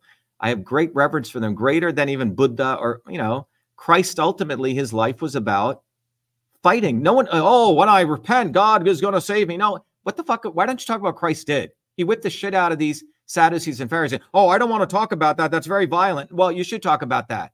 Why don't we talk about that temple cleansing? It is the most important incident in the Bible. Why don't you take a big fucking microscope and study that? Well, I gave my I gave my life to Christ. I was an alcoholic and I repented one day. Well, okay, that's fucking fine. But what the fuck did Christ do? And that world leads to Christian Zionism, where you get lost in okay, it's okay to butcher uh, uh, things because the rapture is going to come. Are you fucking? I mean, it's fucking stupid Right. people. I totally agree. The sacrifice of the shepherd for their own immortality, Right. Is not, is And not this- what the life of Christ was about. It's Right? so fucked up. This happens in Hinduism too. Oh well, you were a dog in your last life, and that's why you have to clean shit all this life. Okay, that sounds very good. Okay, beat the fuck out of me. Give me some shit to eat. So these religions mix with political ideologies, and then they become opiates of the masses. Marx was right about that too, or Lenin was right about that. So some of these revolutionaries got certain things right on the money. And we have to recognize that you have to look at the actions these people did. Buddha was about awakening people to see things as they are, not how you wanted them to be, and to live a life here and now, not be on a mountaintop meditating and thinking you're better than everyone. Right? That's what all these other woo woo people do. How many woo woo people you know? They do yoga. I can do this stretch. I can do this. I can do trikonasana. I can put my head, but they're an asshole as a human I'm, being. from, I'm from California, so Yeah. a lot. Yeah. but I don't know if you know Andres and and Raphael in the a teacher would never teach people meditation and yoga after they only were taught that after they had proved they were a good human being. Yoga and meditation came at the end of a process, not in the beginning. Right. But I did Oh. talk to a guru once who I, I was trying to make that point at, and I was like, "Hey, what do you think of these Americans?" You know, because I was taking yoga at three o'clock in the morning to Kundalini, and I thought I was so cool. It's like, what about these other guys who are just doing it, you know, to make their butts look good? You know, and I have my own supplied answer, and he says it does not matter why someone does yoga because if you are doing, it's like push-ups. Like there are consequences to doing the work. Like, do you agree with that? Well, there are, but the issue is, you know, these things are highly integrated. All right. I think what begins first is the integrity, the moral fiber of the person, how that's developed and how that goes. You see what I'm saying? So, doing, by the way, yoga is not doing postures. You see, yoga Yeah. was a five part, multiple part system of dhyana yoga, right? Kundalini was one part of a prana. I mean, it was a complete system. The ultimate form of yoga was karma yoga, which many, many people realize it's living in the world and living it like a, a lotus who lives, you know, in a in a shithole, right? Where you live of the world, but you're not fully part of it.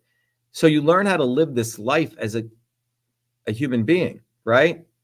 And you can't have personal integrity and public integrity be two different things. Booby fucking Kennedy says that. That's pure devil. That's pure Satan talking. I mean, he said that. Go look at the interview he did. Well, you know, my personal integrity and my public integrity are two different things. Yeah, outwardly, and, and he didn't say this, but what he meant was outwardly, I may say I'm for medical freedom and against vaccine mandates, but in my home, people must be vaccinated before they can come to my party, but I'll blame it on my wife. Oh, I mean- that's the least of it, right? Right. That's But I'm saying that just consider that. Just consider what I'm saying. Right. So, um, so yeah, anyway, some people's egos really do champion, like certain egos for candidates are champion. Like some people really want that because they want to have that. You know what I mean? That's the lifestyle that they want to have. Um, I, I have a question I wanted to read from the comments. Dr. Shiva, your thoughts on viruses never being isolated by anyone ever? Is that do you is it well, eh, look, um, so there, so let's talk about viruses, okay, and the immune system, okay. So when I did my videos, I always said beyond vax and anti-vax, if you remember that. The, the the issue here is there is something called the immune system that we all have.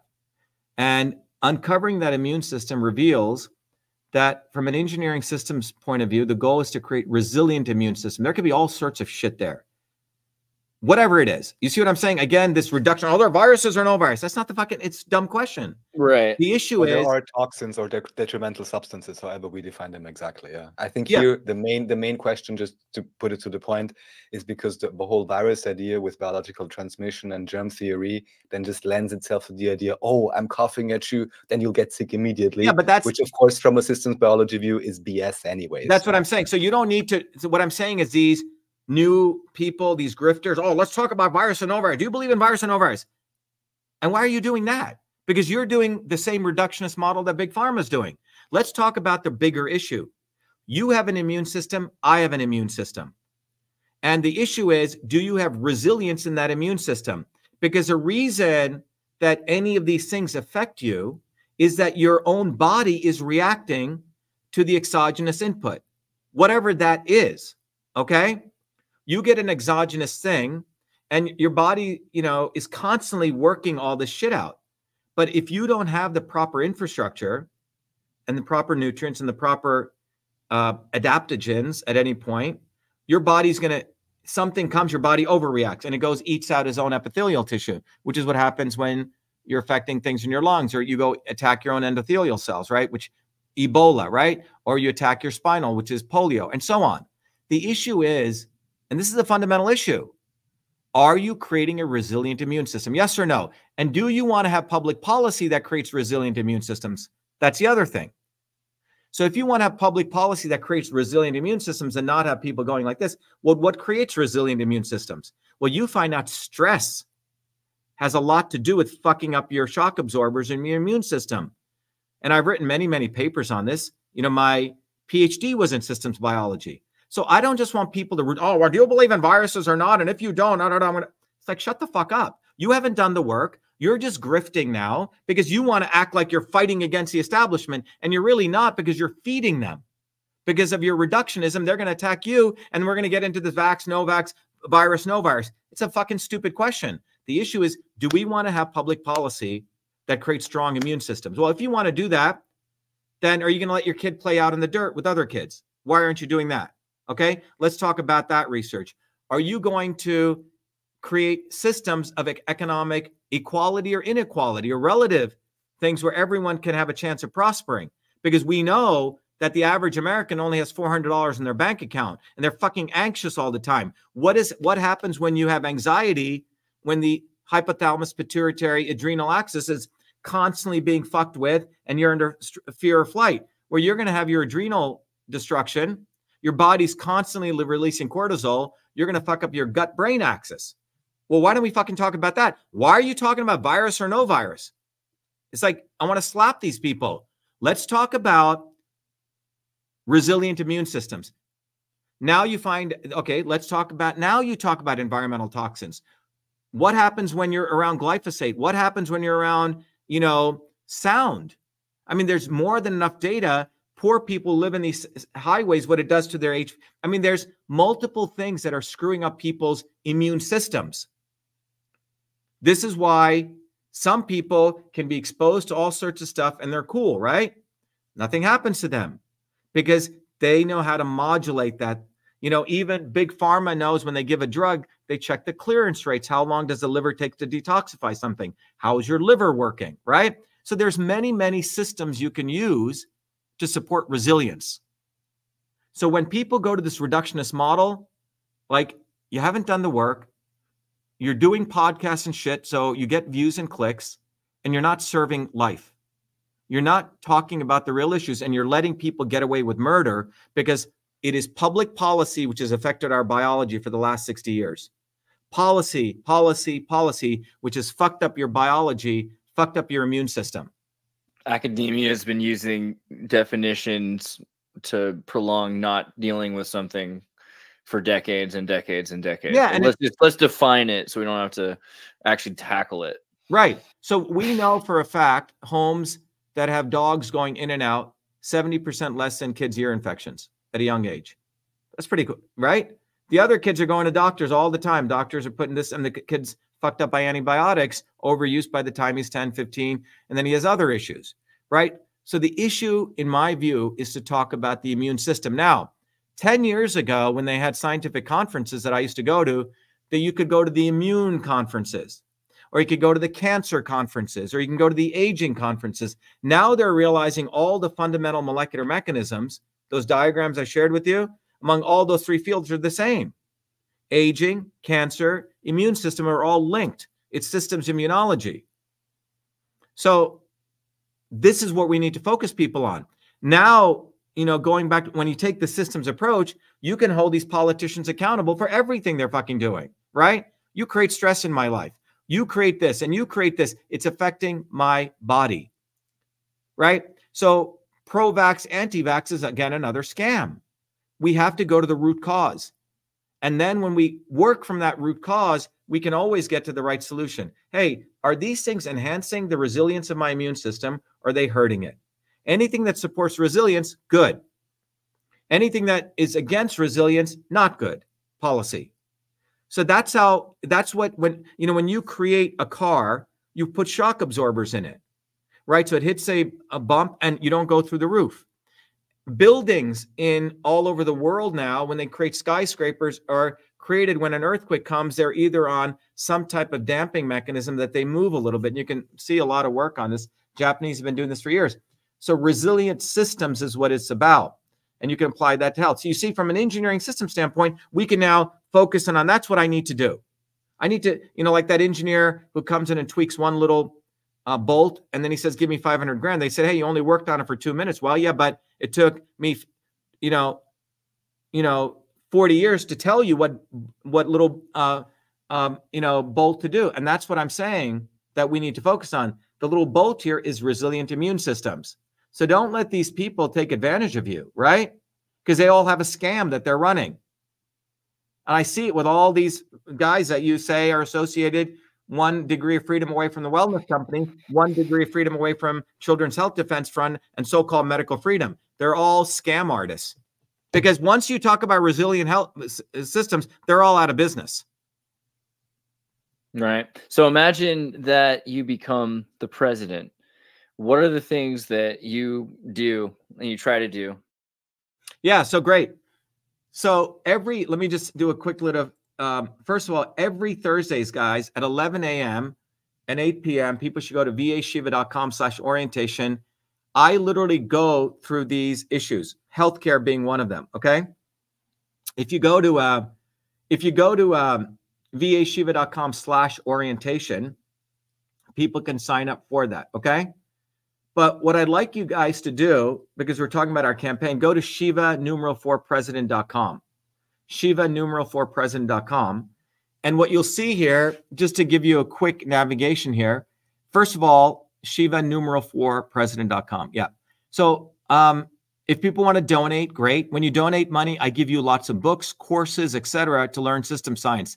As I keep saying, I don't want to take people's money without being able to reciprocate. It's just sort of the law that how I live by. The second thing is um, people can um, go, if you click on that thing that says on the top, of free downloads. And let's start there.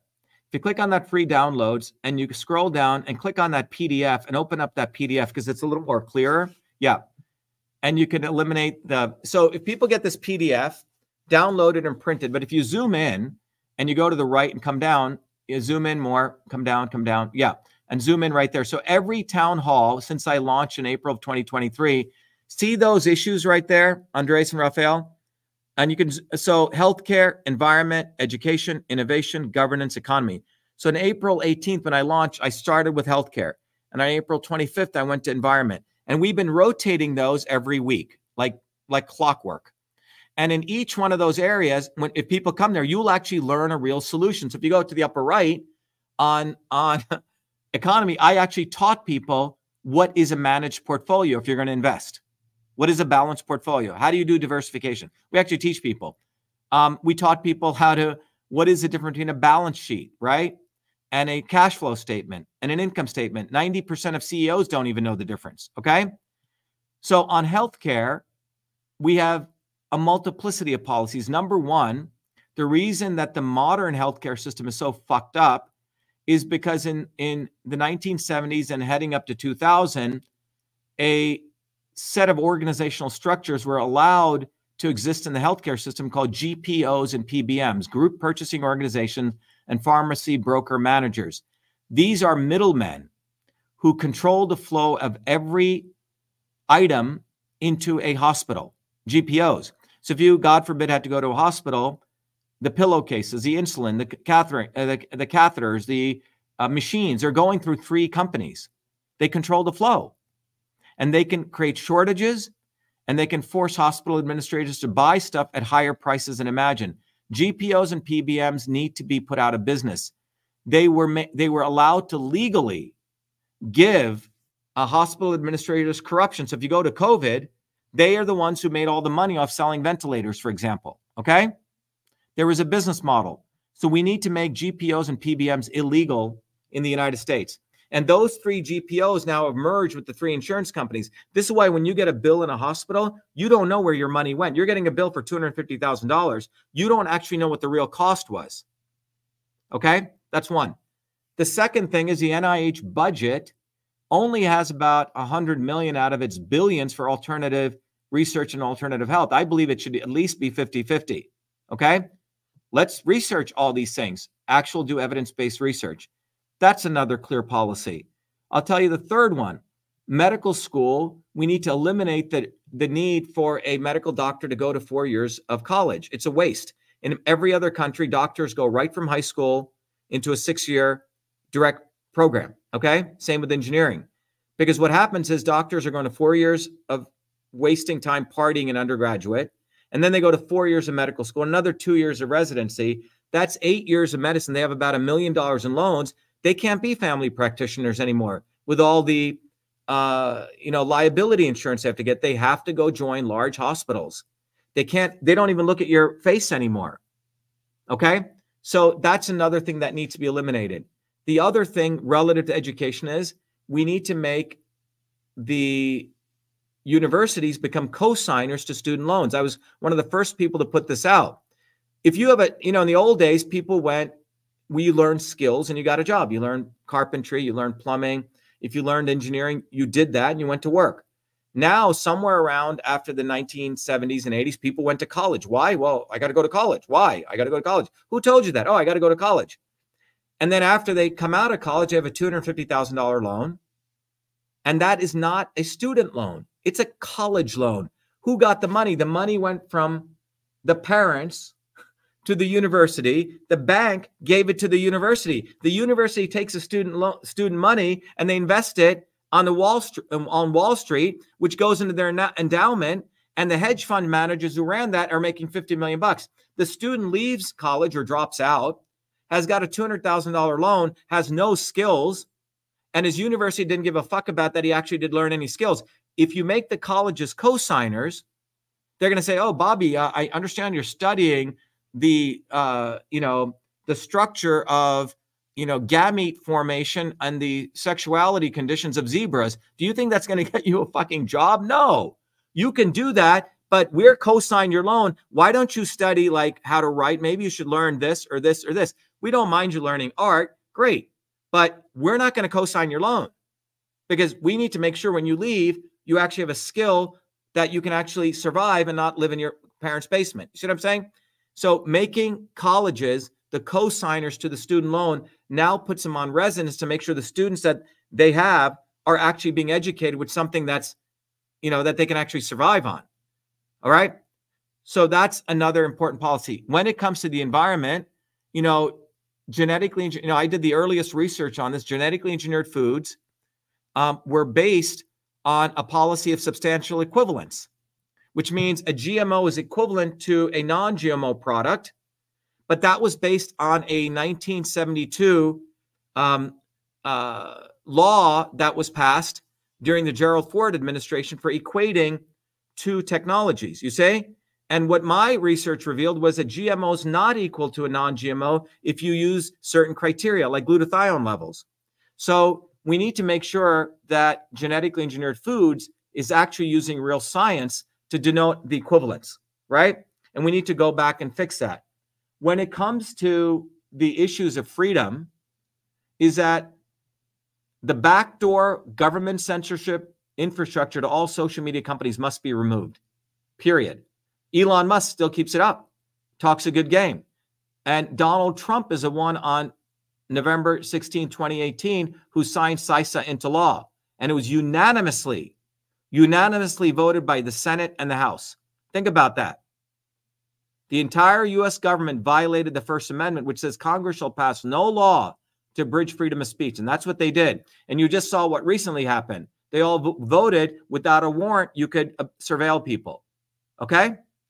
So we don't have a government by the people for the people. We need a revolutionary movement.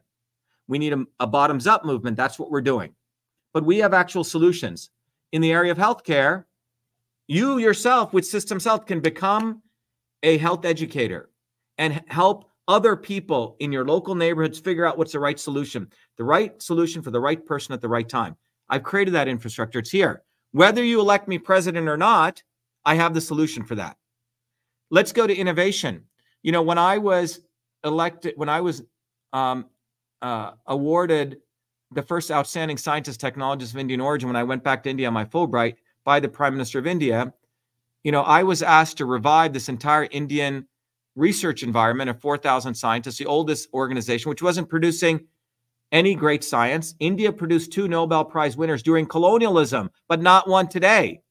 Indians have to leave India to come to the United States even to win anything because the entire Indian scientific system is feudal. It's still based on British colonialism. So when I was recruited by the Indian government, I came out with a plan to unleash innovation.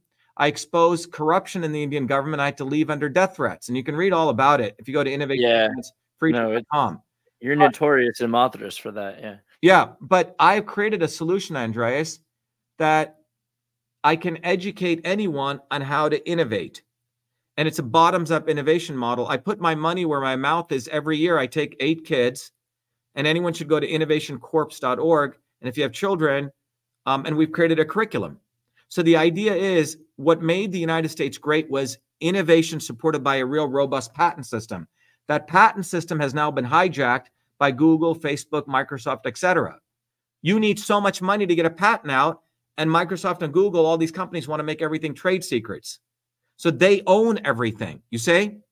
So you can go there, anyone, and apply for a scholarship. I personally, but I, I this system that I created, what is now after I left, Modi invited me back, and the Indian government has now adopted all the recommendations I gave, for which I was fired and hounded out of India for. Okay. So we have that solution. So if you go look at the issue of governance, it's pretty simple, right? Everyone talks about term limits, but we got to go farther than term limits. We should make sure that, in my view, the when you elect a president, it should be for eight years. A senator should be for eight years. Um, House of Representatives should be for four years. And so, and that's it. You're done because you can have this four-year cycle. You're in, and you have some co continuity, and it's over. Okay, you're done.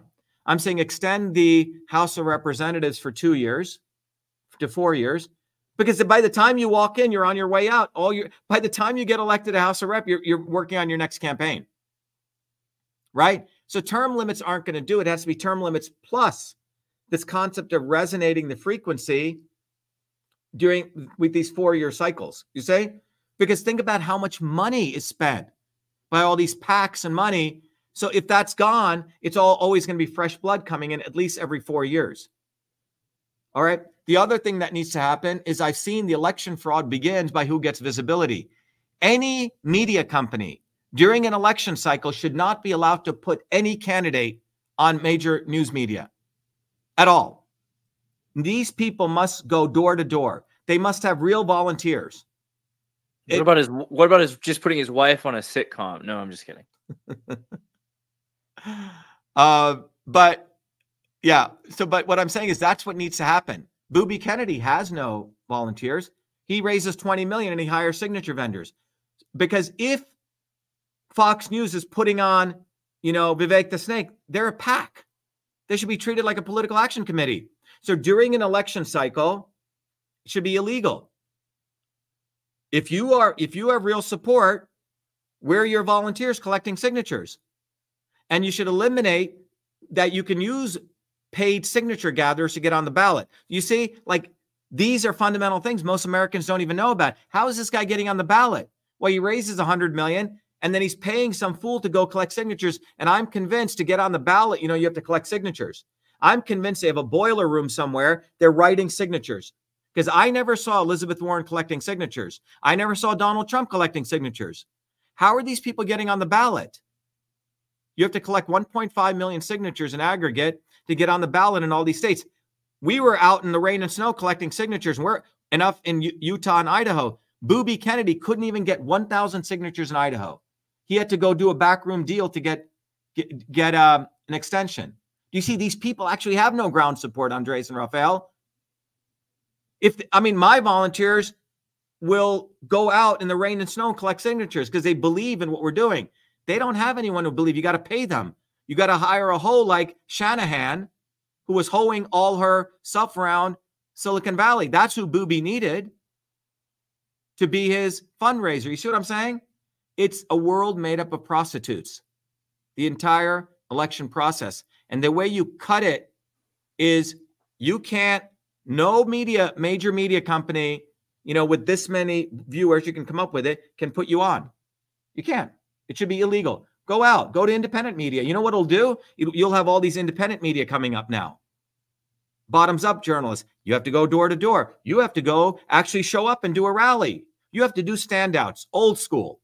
So that's what I think needs to happen on the governance systems all you know i was the first one who discovered the the fact that there's these weighted race features on these voting machines and get, got it out there all those three things i did all of those vote there's no reason for vote, voting fucking machines india you know 1.6 billion people they run a whole election with nothing and the electoral system many argue there's better than here why do you need voting machines why because you're sure that's where you know you should make election day as i've said should be a national holiday you have to show up.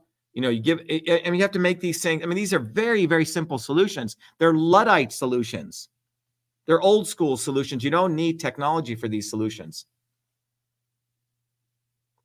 I can keep going if you want.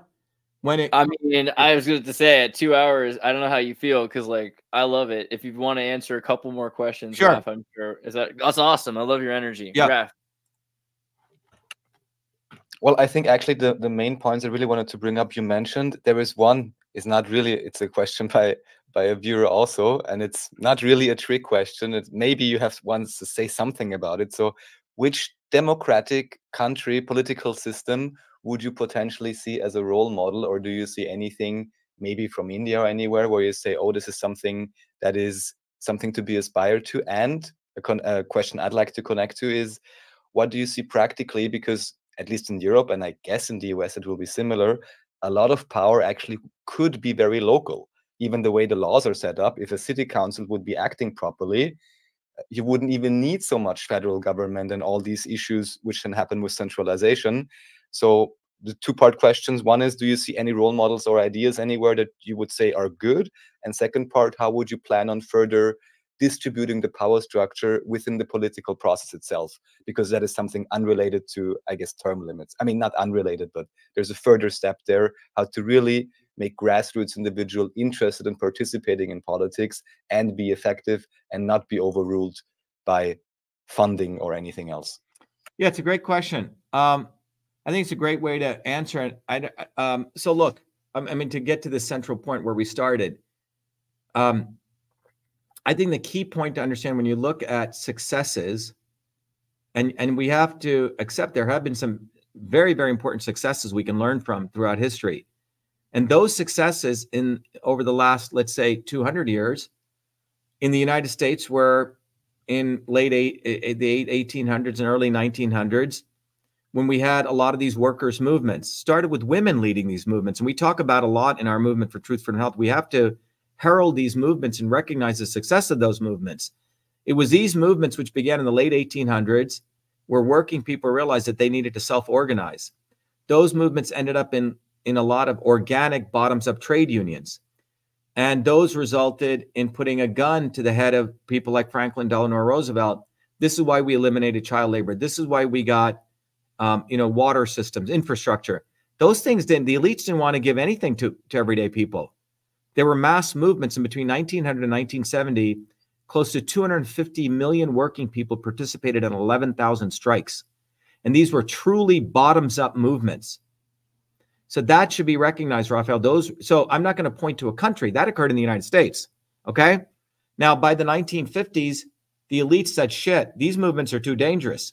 So the right wing branded all those movements communist movements being remote controlled from Russia which was not true. There were bottoms up American workers' movements.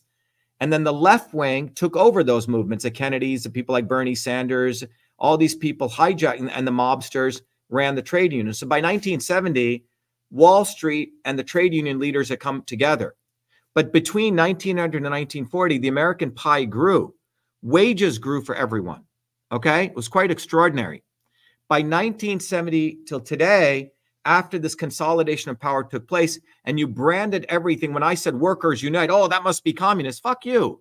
That's not communist. Karl Marx doesn't own those words. You see, they had to brand that against workers' movements. And so between 1970 till today, what we have is we have the destruction of bottoms up movements. In fact, only 2 million people have struck in the United States in 900 strikes. And what has occurred? The wages of Americans have gone down by 47 trillion dollars collectively. And in the last you know 4 years 200 600 billionaires increased their wealth by 2.3 trillion. It's been a massive power grab massive printing of money transfer of wealth. And this is directly related to the fact that the victories of the American working people were smashed attacked and this is why they created the, the Tulsi Gabbards and the fucking Kennedys and the Bernie Sanders and, and the Al Sharptons and the fucker Carlsons to make sure none of these movements ever came up. And that's why we say fuck you to them, because we're going to rebuild those movements. You see? Honoring those people. That's one. I'll give you another example the Bolshevik Revolution. I was just gonna say it. Oh man, I was trying not to interrupt. I was giving you the Decembrists. Sorry, keep going. Yeah, the the October Revolution was one of the bombs that went off. You know, ten days that shook the world. You can read the work of John Reed. Okay, I Epic. mean, you know, you can attack Lenin from from other things. But man, the shit that the Bolsheviks pulled off, it was the Russian people, more importantly, who lost 24, 30 million lives fighting the Nazis. It wasn't Stalin killed these people. It's like it's the biggest bullshit. I don't know if you know, in the 70s, academics got together and they said, we're going to equate Stalin with Hitler. I'm not saying Stalin was a good guy by any means, but they need to do and, and people were a friend of mine went to one of these meetings with these scholars and they said but stalin didn't kill 20 million people. How are we how are we going to do that? And they said just say it. People will believe it. So all of this was done to make sure that we forgot that what happens when working people mobilize. They that's what it's all about raphael and andres to make sure that workers movements never ever come up that we have to pay homage to fucking kennedy? Are you fucking serious?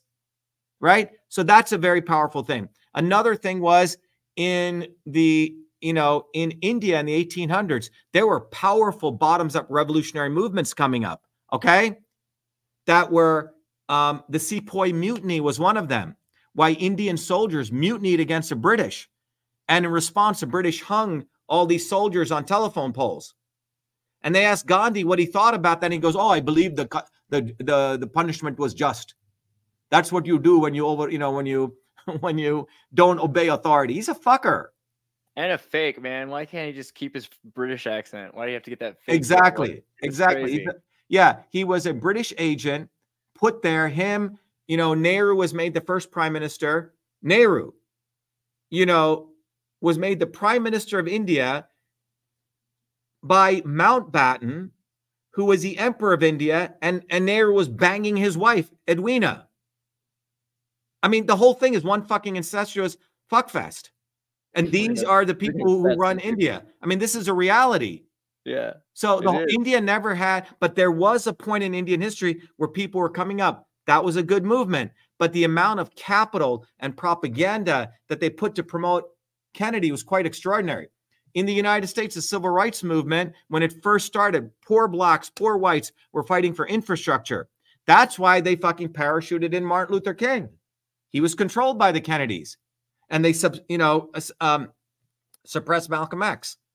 But see, we educate people on all this shit. Oh, what do you mean, Martin Luther King? I'm black. I like Martin Luther King. You can like him, but he was totally fucking compromised. It was clearly an asset that was compromised. Yeah, yeah every respect. It's like in no respect was he not compromised. Yeah, yeah. Uh, I don't know if this is Ravi brings up. Please elaborate on the reverse Flynn effect, which you know.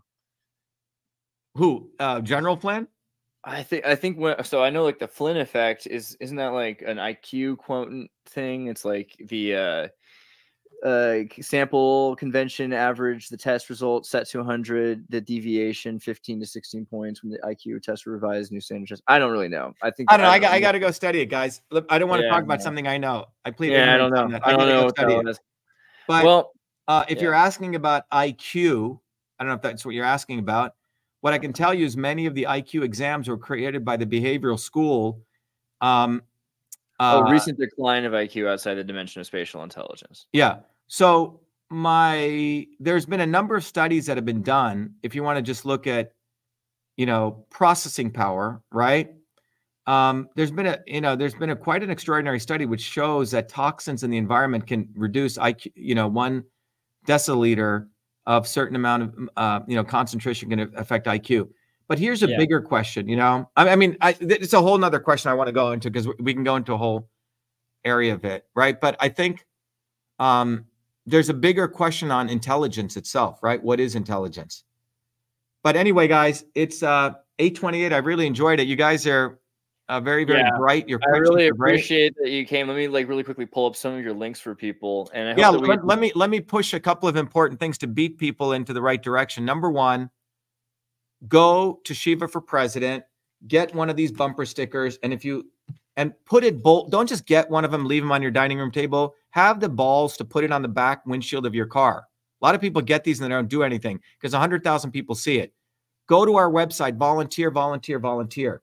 The other thing is if you guys don't uh you know i want to play a video. I don't i think i don't know how we play this on both StreamYards i think i'm going to share mine and i can i play it for you guys one video Yeah. is that all right? Yeah, because sure. the thing i want to push is get involved in our campaign but fundamentally get involved in learning the science of systems okay so let me i'm going to stop your screen share i'm going to go i'm going to share my screen share that i'm doing on streamyard okay and then i'm going to play the video here if that's okay is that all right so let me let me just play this video for you guys that'll give you a deep understanding of and hopefully inspire you to get involved in the movement for truth freedom health.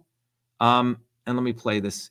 I think i have to I, oh i have to make sure hold on. Um let me stop screen. I got to make sure that you can hear sound. There's a sound okay good. Okay so you guys can hear my sound. Right? All right now i can go share this sound here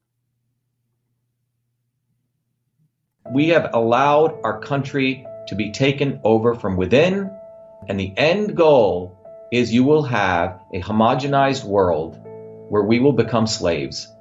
Because there is a condition among the elites that really thinks they're better than you deep down inside them that you don't deserve the freedoms you have.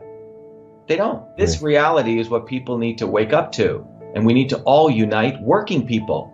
There's only one movement that can do that and that is the movement that we started creating here in Massachusetts, the movement for truth, freedom, and health. Look, I've been a student of politics since I was a four year old kid, studying revolutionary movements, left wing, right wing. There's a physics, there's a nuclear science to destroying the establishment. To build a bridge, you need to understand Newton's equation. You need to understand the laws of gravity. You need to understand Poisson's ratio. There is a way to build a revolution.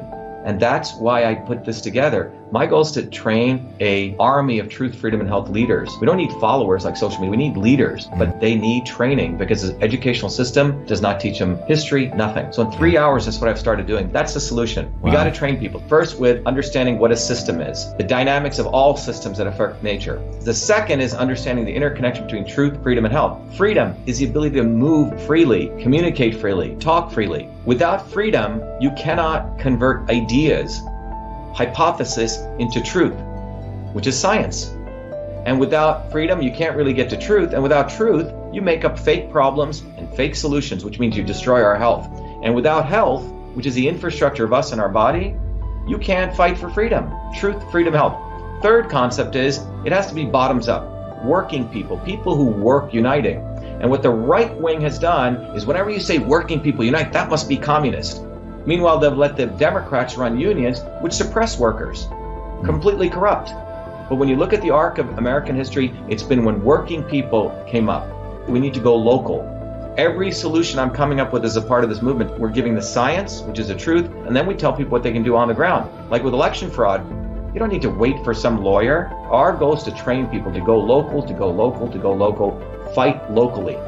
Forget lawyers, forget politicians, forget celebrities. You've got to learn politics, and there is a science to it. They lock us down, we should be ready to shut them down. And the fourth part of this principle is the not so obvious establishment. So when you look at a system, there's always something that disturbs you from getting to your goal. Well, the biggest disturbance is the not so obvious establishment, which are those people who claim they're for you on the left and the right. The Al Sharptons who tell black people I'm for you. The Tucker Carlsons. Do you think any true anti-establishment person will ever be on Fox or CNN? I don't think so. They both mislead working people back into the establishment. Without this solid understanding of political physics and theory, you're screwed. You're going to follow on the left wing Bernie Sanders. Oh, he said something. Or Robert Kennedy. Scumbags. Or you're going to follow some right wing talk show host. They're not going to lead us to liberation. It's us. We're building a bottoms up movement. And that political physics, it's a nuclear science of change.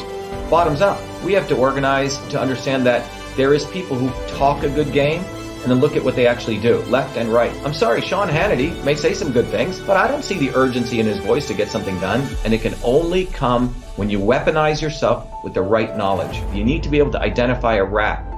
You know, Christ didn't go after the Romans, right? It was the Pharisees and the Sadducees who screwed him up. His own quote unquote people. And that's where we're at. So these four concepts I've built into a curriculum where people can go to truthfreedomhealth.com and it's an educational program. We need to train people in political theory. You need to have physics. And I've created that curriculum. People need to get educated. We need to get educated fast. And within a half an hour, an hour, I can teach people. Two years of MIT control systems, I teach people those concepts. Then I apply it, anyone can understand it. And then you say, oh, I got to build a bottoms up movement. They have to get politically astute and then they have to go locally and act, not sit there on social media. They have to act locally, defy locally, do civil obedience locally, but with knowledge on how to build a movement. Now, the Senate campaign's expanded to the Movement for Truth, Freedom, and Health, and they can find it on truthfreedomhealth.com so people can sign in. They can get access to a bunch of videos. If they want to take a course and become a Truth, Freedom, Health leader, I offer a full scholarship there. But we want people to make a commitment that they'll study, that they'll get certified, that they'll go do activities on the ground. So go to truthfreedomhealth.com.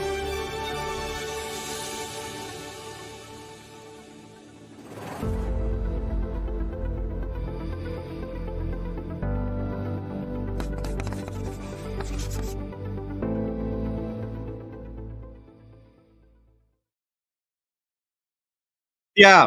So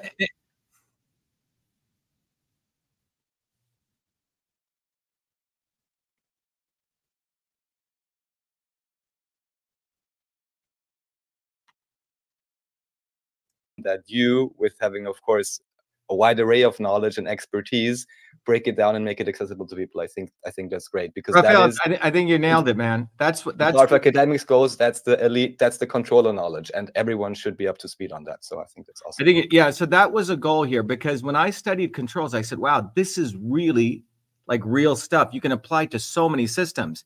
Now the cool thing, Raphael, is I discovered those control systems principles show up one to one, and I wrote a paper on this, and I'll, I'll share this with you guys.